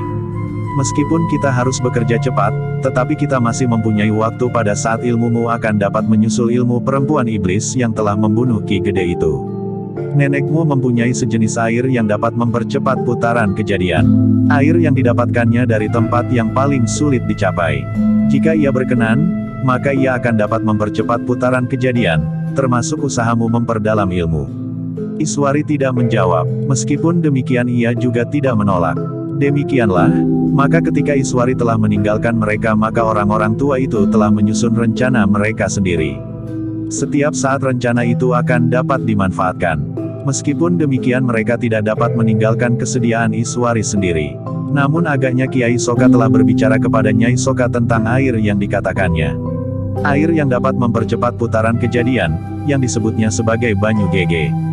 Ternyata bahwa Nyai Soka telah memanggil Iswari seorang diri ketika anaknya sudah tidur nyenyak, ditunggu oleh seorang endang yang biasa melayaninya. Bahkan anak itu tidak akan rewel meskipun ditinggal ibunya sampai berhari-hari. Iswari, Berkata Nyai Soka kemudian, apakah kakekmu, Kiai Soka pernah menyinggung tentang Banyu Gege, semacam air yang dapat mempercepat putaran kejadian. Iya nenek, kakek bermaksud agar aku dapat meningkatkan ilmuku dengan cepat, jawab Iswari. Tetapi Nyai Soka itu tersenyum. Katanya, kakekmu memang benar Iswari. Tetapi yang dimaksud tentu bukan sejenis air yang dapat diminum atau dapat dipergunakan untuk mandi yang kemudian dengan sendirinya segala putaran peristiwa-peristiwa akan berlangsung dengan cepat. Kau akan dengan tiba-tiba memiliki ilmu yang tinggi, atau peristiwa-peristiwa seperti itu. Iswari mengerutkan keningnya. Ia memang menjadi bingung, karena ia kurang mengerti maksud neneknya. Sementara itu, Nyai Soka berbicara terus, Iswari. Yang dimaksud tentu satu usaha yang terus-menerus, mengalir tanpa henti seperti mengalirnya air. Dengan usaha yang demikian, maka kau akan menjadi semakin meningkat. Iswari mengangguk kecil. Katanya, apa pun yang harus aku lakukan, aku tidak akan ingkar nenek. Bukankah selama ini juga aku patuh kepada nenek? Ya, tetapi untuk mempercepat kemajuanmu, maka segala sesuatunya harus dilakukan berlipat ganda. Kau harus menempuh laku yang sangat berat. Ada dua tugas yang saling bertentangan yang harus kau lakukan. Kau harus memeras tenagamu untuk melakukan latihan-latihan, namun sementara itu, jenis makanan yang boleh kau makan harus dikurangi. Anakmu sudah menjadi semakin besar, sehingga sudah sering kau tinggalkan dan tidak kau susui lagi. Ia sudah tumbuh dan berkembang dengan baik. Karena itu, maka kau dapat meninggalkan beberapa jenis makanan yang selama ini kau makan, Apalagi pada saat-saat kau menyusui, Nyai Soka berhenti sejenak, lalu. Tetapi kau sekarang sudah dapat menentukan bagi dirimu sendiri. Kau harus mengurangi makan nasi dan rangkaiannya. Kau harus mulai dari sedikit makan empon-empon. Kau harus mengurangi tidur dan kau harus lebih banyak berada di sanggar untuk memusatkan nalar budi. Laku itu harus kau jalani beberapa pekan sebelum pada satu saat, kau akan berpuasa 40 hari 40 malam. Jenis makanan yang boleh kau makan menjadi semakin menyempit. Setelah itu, maka tiga hari kemudian kau harus pati geni. Jika kau kuat melakukannya, maka kau akan kuat mulai dengan mempelajari satu ilmu yang gegirisi. Ingat, setelah laku itu, kau baru akan mulai dengan satu latihan dari ilmu itu. Bukan karena laku itu maka kau telah memiliki ilmu itu. Iswari menarik nafas dalam-dalam. Dengan demikian maka ia benar-benar akan terjun ke dalam dunia olah kanuragan. Namun dalam pada itu, neneknya itu pun telah mendesaknya, bagaimana pendapatmu Iswari? Apakah kau akan mampu melakukannya? Memang dengan laku itu, seakan-akan berhasil mendalami satu ilmu dengan cara yang lebih cepat dari jalan yang biasa sebagaimana kau tempuh sekarang. Tetapi sebelum kau mulai, kau harus memikirkannya masak-masak, agar kau tidak akan membuang banyak waktu dan tenaga. Karena jika berhenti di tengah, maka yang sudah kau korbankan itu akan terhapus dan tidak akan mempunyai nilai apa pun juga. Iswari berpikir sejenak, namun bagaimanapun juga, ada juga perasaan yang asing di dasar hatinya terhadap perempuan yang kemudian menjadi Nyai Wiradana. Apalagi anak laki-lakinya pada suatu saat tentu memerlukan perlindungannya, karena anak itu telah terlepas dari perlindungan ayahnya. Bahkan ayahnya telah sampai hati untuk melenyapkannya bersama ibunya sekaligus. Akulah yang harus melindunginya. Aku adalah ibunya sekaligus ayahnya. Padahal perempuan yang kemudian menjadi Nyai Wiradana dan yang tidak mustahil telah membunuh Ki Gede dengan cara yang sangat licik itu adalah perempuan yang memiliki ilmu yang sangat tinggi, berkata Iswari di dalam hatinya. Karena itu, maka akhirnya Nyai Wiradana yang telah dianggap terbunuh itu pun mengangguk. Ia lebih banyak berpikir bagi anaknya. Jika ia tidak memiliki ilmu yang memadai, maka apakah ia akan dapat melindungi anaknya dari tangan Wiradana dan istrinya itu? Namun dengan demikian, maka rencana Kiai Soka untuk mulai lagi dengan permainan rombongan penarinya harus ditunda. Tetapi karena mesuraga itu penting sekali bagi Iswari, maka tidak ada seorang pun yang berkeberatan. Bahkan murid-murid Guntur Geni itu sudah menyatakan, bahwa untuk sementara mereka tidak akan kembali ke perguruannya, karena beberapa orang sudah mampu untuk melakukan tugasnya, karena perguruannya itu pada dasarnya tidak mempunyai persoalan dengan perguruan yang lain. Dalam pada itu, maka di hari yang sudah ditentukan, maka Iswari pun telah mandi keramas dengan air landa merang. Kemudian mempersiapkan diri lahir dan batinnya, untuk memasuki satu masa perjuangan yang sangat berat. Sehari semalam Iswari berada di dalam sanggarnya dalam doa. Ia telah mendekatkan diri kepada Yang Maha Agung. Dengan tulus ia mohon tuntunan, perlindungan dan kemampuan untuk menyelesaikan usahanya, menempuh laku lahir dan batin. Ternyata bahwa Iswari benar-benar bertekad mantap. Dengan demikian maka di hari berikutnya, Iswari sudah memasuki masa perjuangannya. Meskipun nampaknya ia tetap melakukan tugasnya sehari-hari, namun waktunya memasuki sanggar menjadi berlipat. Sementara itu ia telah mengurangi jenis makannya sebagaimana biasanya. Ia mulai makan empon-empon sebagaimana dimaksud oleh neneknya. Namun dalam pada itu, bukan hanya Iswari sajalah yang harus bekerja berat. Tetapi Nyai Soka dan Kiai Soka pun telah bekerja berat pula untuk mewariskan ilmunya kepada cucunya itu. Dari hari ke hari Iswari berada di dalam sanggar, berlatih dan menambah ilmunya setapak demi setapak. Namun yang dipelajarinya adalah semata-mata keterampilan wadaknya dan meningkatkan kekuatannya. Usaha untuk membangun tenaga cadangan yang memiliki kekuatan berlipat dari kekuatan wajarnya. Mempertajam inderanya, terutama penglihatan dan pendengarannya, serta mempercerdas daya tangkap dan daya cerna pikirannya. Dengan sungguh-sungguh dan tidak mengenal lelah Iswari melakukannya. Meskipun demikian kadang-kadang timbul satu pertanyaan di hatinya, bahwa menurut neneknya segalanya baru akan dimulai setelah ia selesai dengan laku yang terakhir, Pati Geni. Tetapi Iswari tidak bertanya, ia melakukan apa saja yang diajarkan oleh neneknya. Apalagi dalam wujud wadak yang kasat mata dan dapat ditirukan. Jika terjadi kesalahan, maka neneknya atau kakeknya masih dapat membetulkannya. Namun demikian, Iswari masih tetap memikirkan satu masa setelah ia selesai dengan pati geni. Latihan-latihan apa lagi yang harus dilakukan?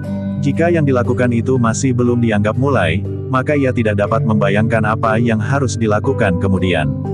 Sementara itu, selagi Iswari berada di dalam sanggarnya, hampir di setiap saat, maka di tanah perdikan Semboyan, Wiradana telah mengambil langkah-langkah yang dianggap perlu.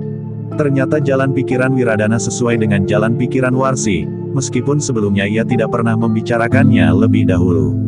Agaknya Wiradana menganggap jika keadaan memaksa, maka sandaran yang paling baik baginya untuk mempertahankan kekuasaannya adalah kekuatan.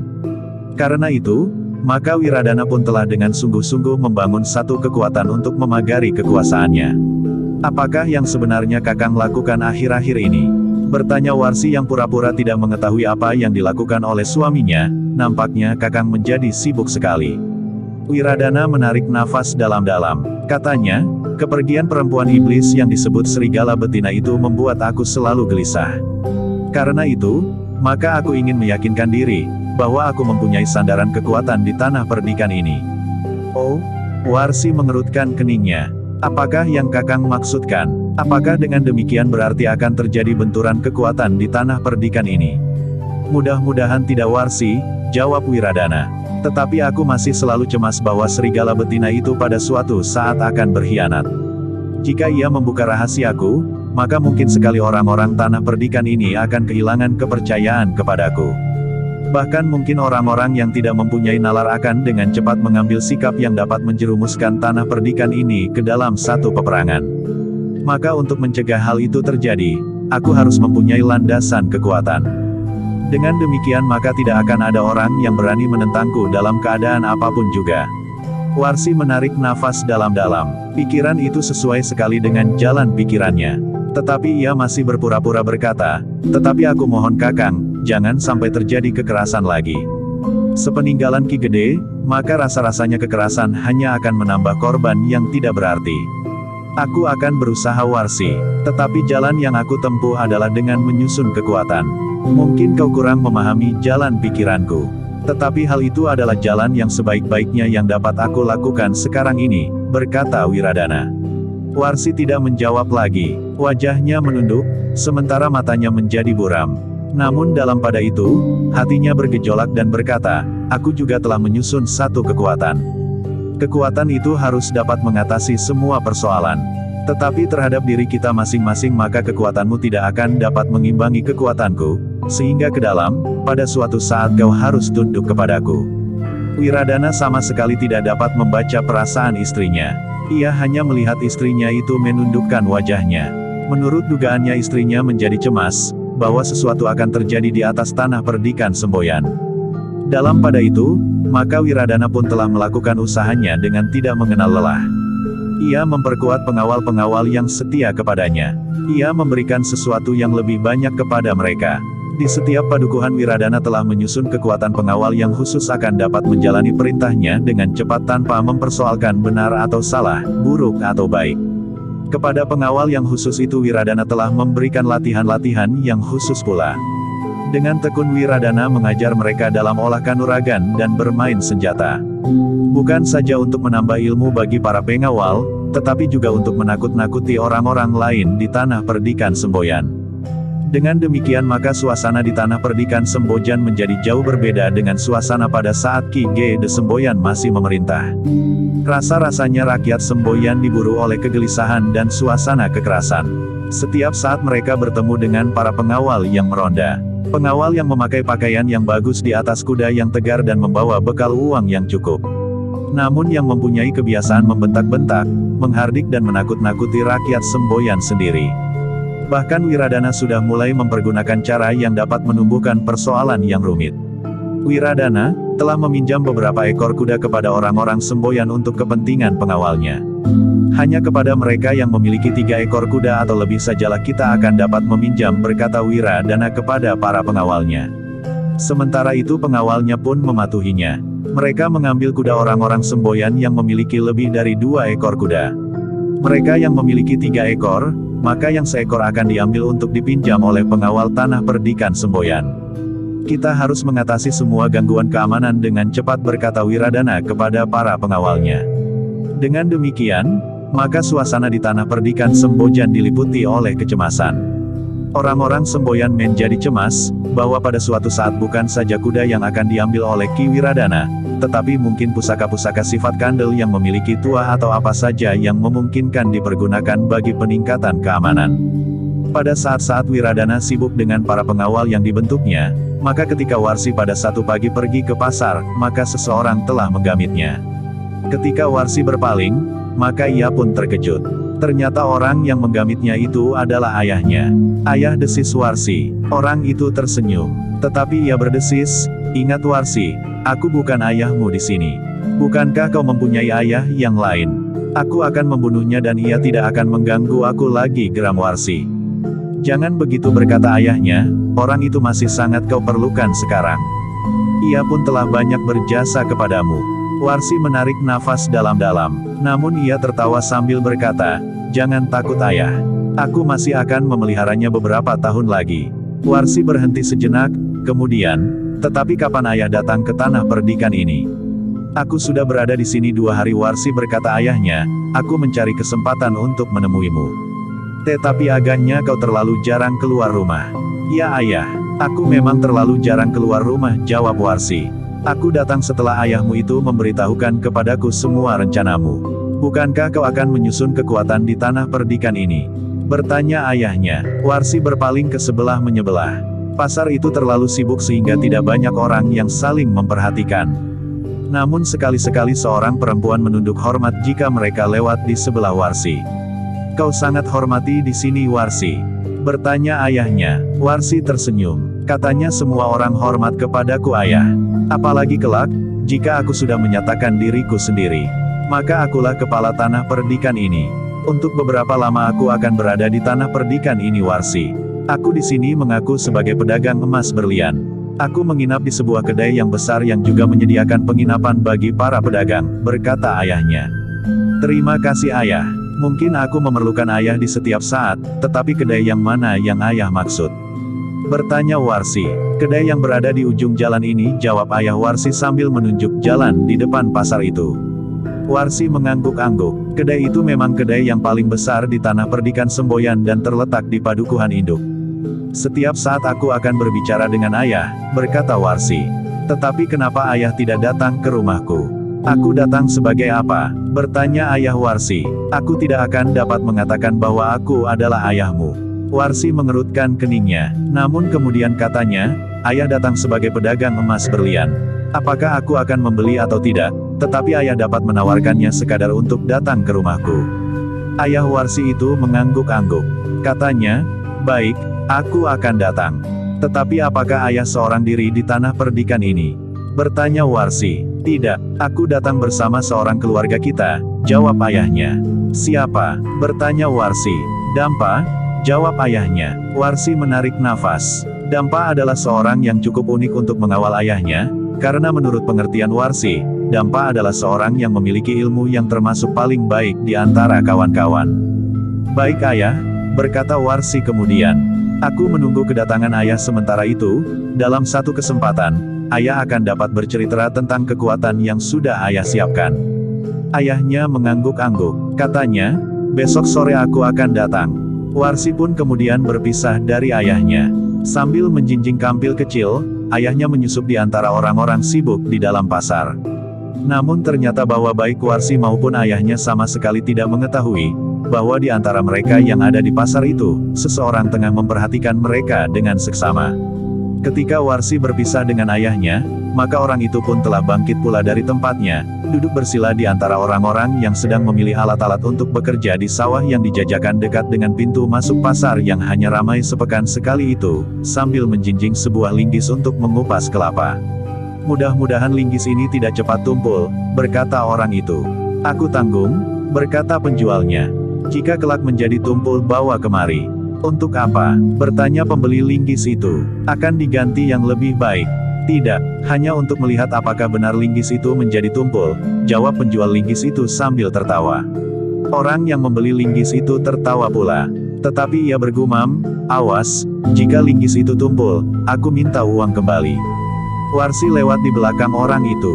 Tetapi Warsi tidak memperhatikannya, sementara orang itu sempat pula berpaling dan memandanginya. Cantik sekali, desis orang itu. Hei, jangan mencoba mengganggunya jika kepalamu tidak ingin tembus oleh linggismu sendiri, sahut penjual linggis itu. Aku tahu, bukankah perempuan itu Nyai Wiradana, sahut orang yang membeli linggis itu. Dan bukankah aku hanya sekadar memujinya? Penjual linggis itu mengumpat, tetapi pembelinya tidak mendengarnya. Sejenak kemudian pembeli linggis itu pun telah meninggalkan tempat itu. Ia berjalan di antara orang-orang yang sibuk berada di pasar dengan kepentingan mereka masing-masing. Namun demikian ketajaman penglihatannya masih memungkinkannya untuk melihat arah perjalanan orang yang baru saja berbicara dengan Nyai Wiradana. Di sudut pasar ternyata telah menunggu seorang kawannya yang disebut Dampa itu. Kemudian berdua mereka keluar dari pasar dan berjalan menyusuri jalan di muka pasar itu. Mereka berjalan perlahan-lahan saja, tanpa memperhatikan orang-orang yang masih berjejalan di dalam pasar. Namun ternyata orang itu tidak lepas dari pengamatan orang yang membeli linggis. Meskipun ia tidak mengikutinya, tetapi di sore hari orang yang membeli linggis itu telah duduk di dalam sebuah kedai yang besar di ujung jalan. Sambil membeli beberapa jenis makanan bersama seorang kawannya, maka ia bertanya, apakah saudagar intan berlian itu masih bermalam di sini? Pemilik kedai itu termangu-mangu. Namun kemudian katanya, kenapa dengan saudagar itu? Tidak apa-apa, aku tidak tahu bahwa ia ada di sini malam ini sehingga aku tidak mengajak istriku, berkata orang itu. Kenapa dengan istrimu? Bertanya pemilik warung. Ia memerlukan sepasang giwang untuk anaknya yang tiga hari lagi akan dibawa suaminya ke Pajang, berkata orang itu. Sekarang kau dapat menemuinya, berkata pemilik warung, ia di dalam. Biarlah. Besok aku akan datang dengan istriku, berkata orang itu. Sejenak kemudian, maka kedua orang itu pun telah meninggalkan warung itu. Seolah-olah tidak ada persoalan yang terselip di dalam pertanyaan-pertanyaannya tentang saudagar intan berlian itu. Dalam pada itu, pemilik kedai itu pun tidak lagi menghiraukan apa yang dikatakan oleh kedua orang yang pernah membeli makanan di warungnya. Ia pun tidak menghiraukan ketika hari berikutnya orang itu pun tidak datang lagi, apalagi dengan istrinya. Sementara itu, sebagaimana dikatakan, maka di sore hari berikutnya ayah Warsi bersama seorang kawannya telah ke rumah Kiwiradana. Keduanya diterima sebagaimana mereka menerima orang asing yang belum pernah dikenalnya. Sikap Warsi pun cukup meyakinkan bahwa ia belum mengerti orang yang baru datang itu. Namun dengan bahasa yang tersusun, orang itu pun kemudian berhasil meyakinkan kepada Kiwiradana, bahwa ia datang untuk menawarkan beberapa jenis perhiasan yang dibawanya. Intan berlian dan emas. Kami mohon maaf Ki Wiradana, mungkin kedatangan kami terlalu tiba-tiba dan tidak memberitahukan sebelumnya. Tetapi bukankah kami tidak terlalu mengganggu? Segalanya terserah. Kami adalah pedagang-pedagang yang menawarkan kepada mereka yang kami anggap mempunyai kemungkinan untuk membeli. Seandainya tidak dapat dibayar sekaligus, maka kami tidak berkeberatan untuk menerima pembayarannya dalam tahap-tahap, karena kami yakin bahwa Ki Wiradana tentu akan dapat memenuhinya pada saat-saat yang dijanjikannya, berkata ayah Warsi yang mengaku sebagai pedagang intan berlian itu. Wiradana memandang istrinya, katanya, segala sesuatunya terserah kepada istriku. Jika ia menyenangi salah satu dari perhiasan yang kisanak bawa, serta harga yang kau tawarkan wajar, maka mungkin sekali kami akan membelinya. Tentu, berkata saudagar itu, kami tidak pernah menawarkan harga barang-barang kami dengan berlebih-lebihan. Kami akan mengambil keuntungan yang sekecil-kecilnya, namun jika barang kami sering laku maka yang kecil itu pun akan menjadi besar. Wiradana memang menyerahkan segalanya kepada istrinya. Ada beberapa barang perhiasan yang dilihat oleh Warsi. Tetapi Warsi masih belum memutuskan untuk mengambil yang mana di antara barang-barang itu. Apakah Kisanak besok masih ada di sini? Bertanya Warsi. Ya, aku masih berada di sini untuk beberapa hari. Aku ingin datang ke rumah beberapa orang kaya di tanah perdikan ini. Mungkin Kiwiradana dapat membantu kami, sekadar menunjukkan kepada siapa kami harus menawarkan barang-barangku. Bukan dengan satu kepastian untuk dibeli. Hanya sekadar menawarkan saja, jawab orang itu. Jika demikian kisanak, berkata Nyai Wiradana. Datanglah besok kemari, aku akan memikirkannya dan memilih. Apakah Kisanak tidak berkeberatan untuk meninggalkan beberapa macam perhiasan itu di sini? Tentu, jawab pedagang itu, aku tidak akan mencurigai Nyai Wiradana, istri pemangku jabatan kepala tanah perdikan Semboyan. Tetapi sudah tentu hanya satu atau dua saja, sebab yang lain harus aku tawarkan kepada orang lain lagi. Warsi pun kemudian memilih dua macam perhiasan. Seuntai kalung dan sepasang giwang. Katanya, Mungkin aku akan membeli salah satu di antara keduanya. Bukan kedua-duanya. Dengan demikian maka kesengajaan Warsi untuk memberi kesempatan ayahnya datang ke rumahnya itu dimengerti oleh ayahnya. Karena itu, maka ia pun benar-benar telah meninggalkan dua macam perhiasan di rumah Warsi. Ketika keduanya kembali ke penginapan, maka ayah Warsi itu pun berkata, ternyata aku mendapat kesempatan lebih baik untuk berhubungan dengan Warsi dari sekadar mencegatnya di pasar. Besok aku akan datang dan mudah-mudahan persoalannya tidak cepat sekali, sehingga aku akan mendapat kesempatan untuk hilir mudik. Dampa tersenyum. Katanya, Warsi memang seorang yang cerdik. Nampaknya suaminya sangat sayang kepadanya. Ia adalah anakku. Ia mewarisi kecerdikan, kepandaian dan kemampuan olah kanuragan seperti aku juga, berkata ayah Warsi sambil tertawa. Dampa itu pun tertawa pula. Sebenarnya bahwa Warsi memang seorang perempuan yang pandai mempergunakan segala kesempatan. Ayah Warsi itu kembali ke kedai tempat ia menginap telah malam mulai turun. Ia memasuki kedai yang sudah memasang lampu. Demikian ia bersama kawannya selesai makan malam, maka keduanya telah memasuki bilik yang disediakan bagi mereka. Tetapi ternyata telah terjadi sesuatu yang tidak terduga sebelumnya. Malam itu, dua orang dengan diam-diam telah mendekati kedai tempat saudagar intan berlian itu menginap. Kita akan menunggu sampai tengah malam, berkata seorang dari kedua orang itu. Kawannya mengangguk-angguk, namun agaknya tengah malam sudah tidak terlalu jauh lagi. Malam itu, udara terasa sejuk. Meskipun langit berawan tipis, tetapi angin semilir bertiup di antara dedaunan. Pada lewat tengah malam, dua orang telah dengan diam-diam memasuki kedai tempat saudagar intan berlian itu menginap. Mereka dengan hati-hati telah merusak pintu dan masuk ke dalamnya. Meskipun tidak ada lampu sama sekali di dalam kedai itu, namun kedua orang yang memasuki pintu itu ternyata dapat melihat meskipun tidak sejelas dalam sinar lampu minyak. Di bagian belakang kedai itu, terdapat sebuah pintu. Jika mereka memasuki pintu itu terdapat sebuah ruang yang luas dengan amben-amben yang besar. Beberapa orang pedagang bermalam di situ dan tidur berjajar di amben besar itu. Sebuah amben besar buat laki-laki dan sebuah amben besar buat perempuan. Tetapi agaknya pedagang intan berlian itu tidak mau tidur dalam keadaan demikian. Ia dan seorang kawannya telah minta disediakan secara khusus sebuah bilik. Meskipun bilik itu sempit, tetapi cukup memadai bagi dua orang yang mengaku saudagar intan berlian itu, karena dengan demikian mereka tidak harus tidur berhimpitan dengan orang-orang yang tidak dikenalnya. Kedua orang yang memasuki kedai dengan diam-diam itu telah berusaha membuka pintu itu. Perlahan-lahan sekali, agar deritnya tidak membangunkan orang-orang yang sedang tidur nyenyak. Demikian pintu terbuka, maka keduanya tertegun. Mereka mendengar dengkur yang keras di antara orang-orang yang menginap di ruang yang besar itu. Namun agaknya hari itu, yang menginap di bilik itu tidak cukup banyak sebagaimana hari-hari pasaran. Dengan hati-hati kedua orang itu mendekati orang-orang yang sedang tidur nyenyak. Namun ternyata mereka tidak menemukan pedagang intan berlian, sehingga kedua orang itu kemudian menduga bahwa keduanya telah ditempatkan di tempat yang lain.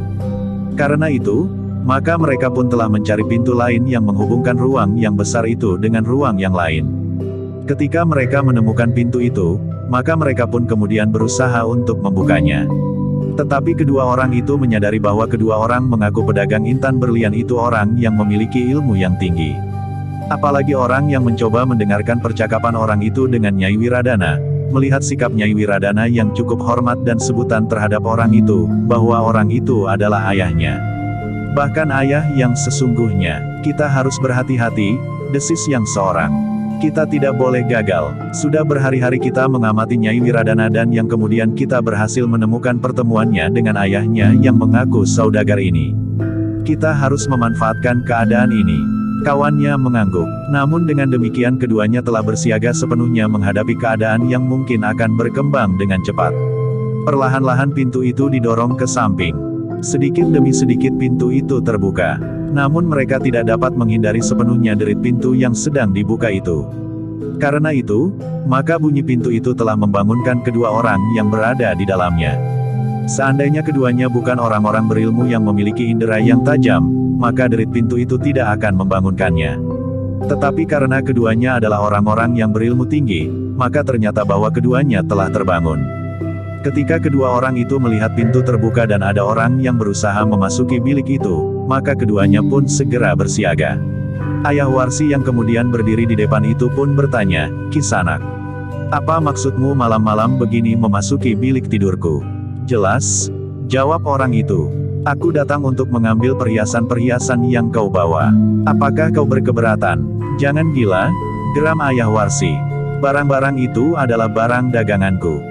Apa pun yang kau katakan, kami datang untuk mengambilnya, jawab orang itu. Kau sangka kau dapat menakut-nakuti kami. Agaknya kau memang belum mengenal kami. Nasibmu kali ini ternyata sangat buruk, bahwa kalian telah merampok kami, berkata ayah Warsi. Kami telah merampok puluhan orang dan berhasil dengan baik. Kali ini pun kami akan berhasil merampok perhiasan yang kau bawa dengan hasil yang baik pula, berkata orang yang memasuki bilik itu. Perampok yang malang, desis ayah Warsi. Aku peringatkan sekali lagi, bahwa aku bukan pedagang kebanyakan. Jika kau tidak ingin mati, pergilah. Aku tidak akan mengganggumu. Jangan banyak bicara, geram orang yang memasuki bilik itu. Serahkan semua perhiasanmu. Aku tidak mempunyai banyak waktu. Keributan itu agaknya telah membangunkan pula orang-orang yang tidur di ruang yang besar itu. Mereka berloncatan turun dari pembaringan. Ada di antara mereka yang segera menghadapi apa yang terjadi, namun ada yang masih bertanya-tanya. Sementara itu, ada orang yang merasa dirinya wajib ikut menangkap orang yang akan merampok itu, sementara ada yang menjadi ketakutan. Namun dalam pada itu, ayah Warsi itu pun berkata, lihatlah. Orang-orang itu sudah terbangun. Apa yang dapat kau lakukan kemudian? Mereka akan beramai-ramai menangkapmu dan kemudian menyeretmu ke Kiwiradana, pemangku jabatan kepala tanah perdikan di semboyan ini. Jangan banyak cakap, serahkan, atau kau berdua akan mati di sini, geram orang yang ingin merampok itu. Ayah Warsi bukan orang yang sabar. Karena itu, ketika orang yang dianggapnya akan merampok itu membentaknya, maka ia pun membentak pula sambil melangkah maju. Disambarnya pedang yang berada di bawah tikar tempat ia tidur. Aku memang ingin membunuhmu dan membuktikan kepada orang-orang semboyan, bahwa semua kejahatan di semboyan akan dapat dilawan dan dibinasakan, geram ayah Warsi itu. Kedua perampok itu pun bergeser surut. Orang-orang yang semula berada di luar pintu pun telah menyibak. Sementara itu ayah Warsi dan Dampa telah melangkah maju pula. Di sini tempatnya agak luas, berkata orang yang disangka perampok itu. Kami akan membunuh kalian berdua kemudian mengambil barang-barang yang kalian bawa, orang itu terdiam sejenak. Kemudian sambil berpaling kepada orang-orang yang ada di sekitarnya di dalam bilik yang luas itu, ia berkata, siapa yang akan ikut campur? Bersambung ke jilid 9.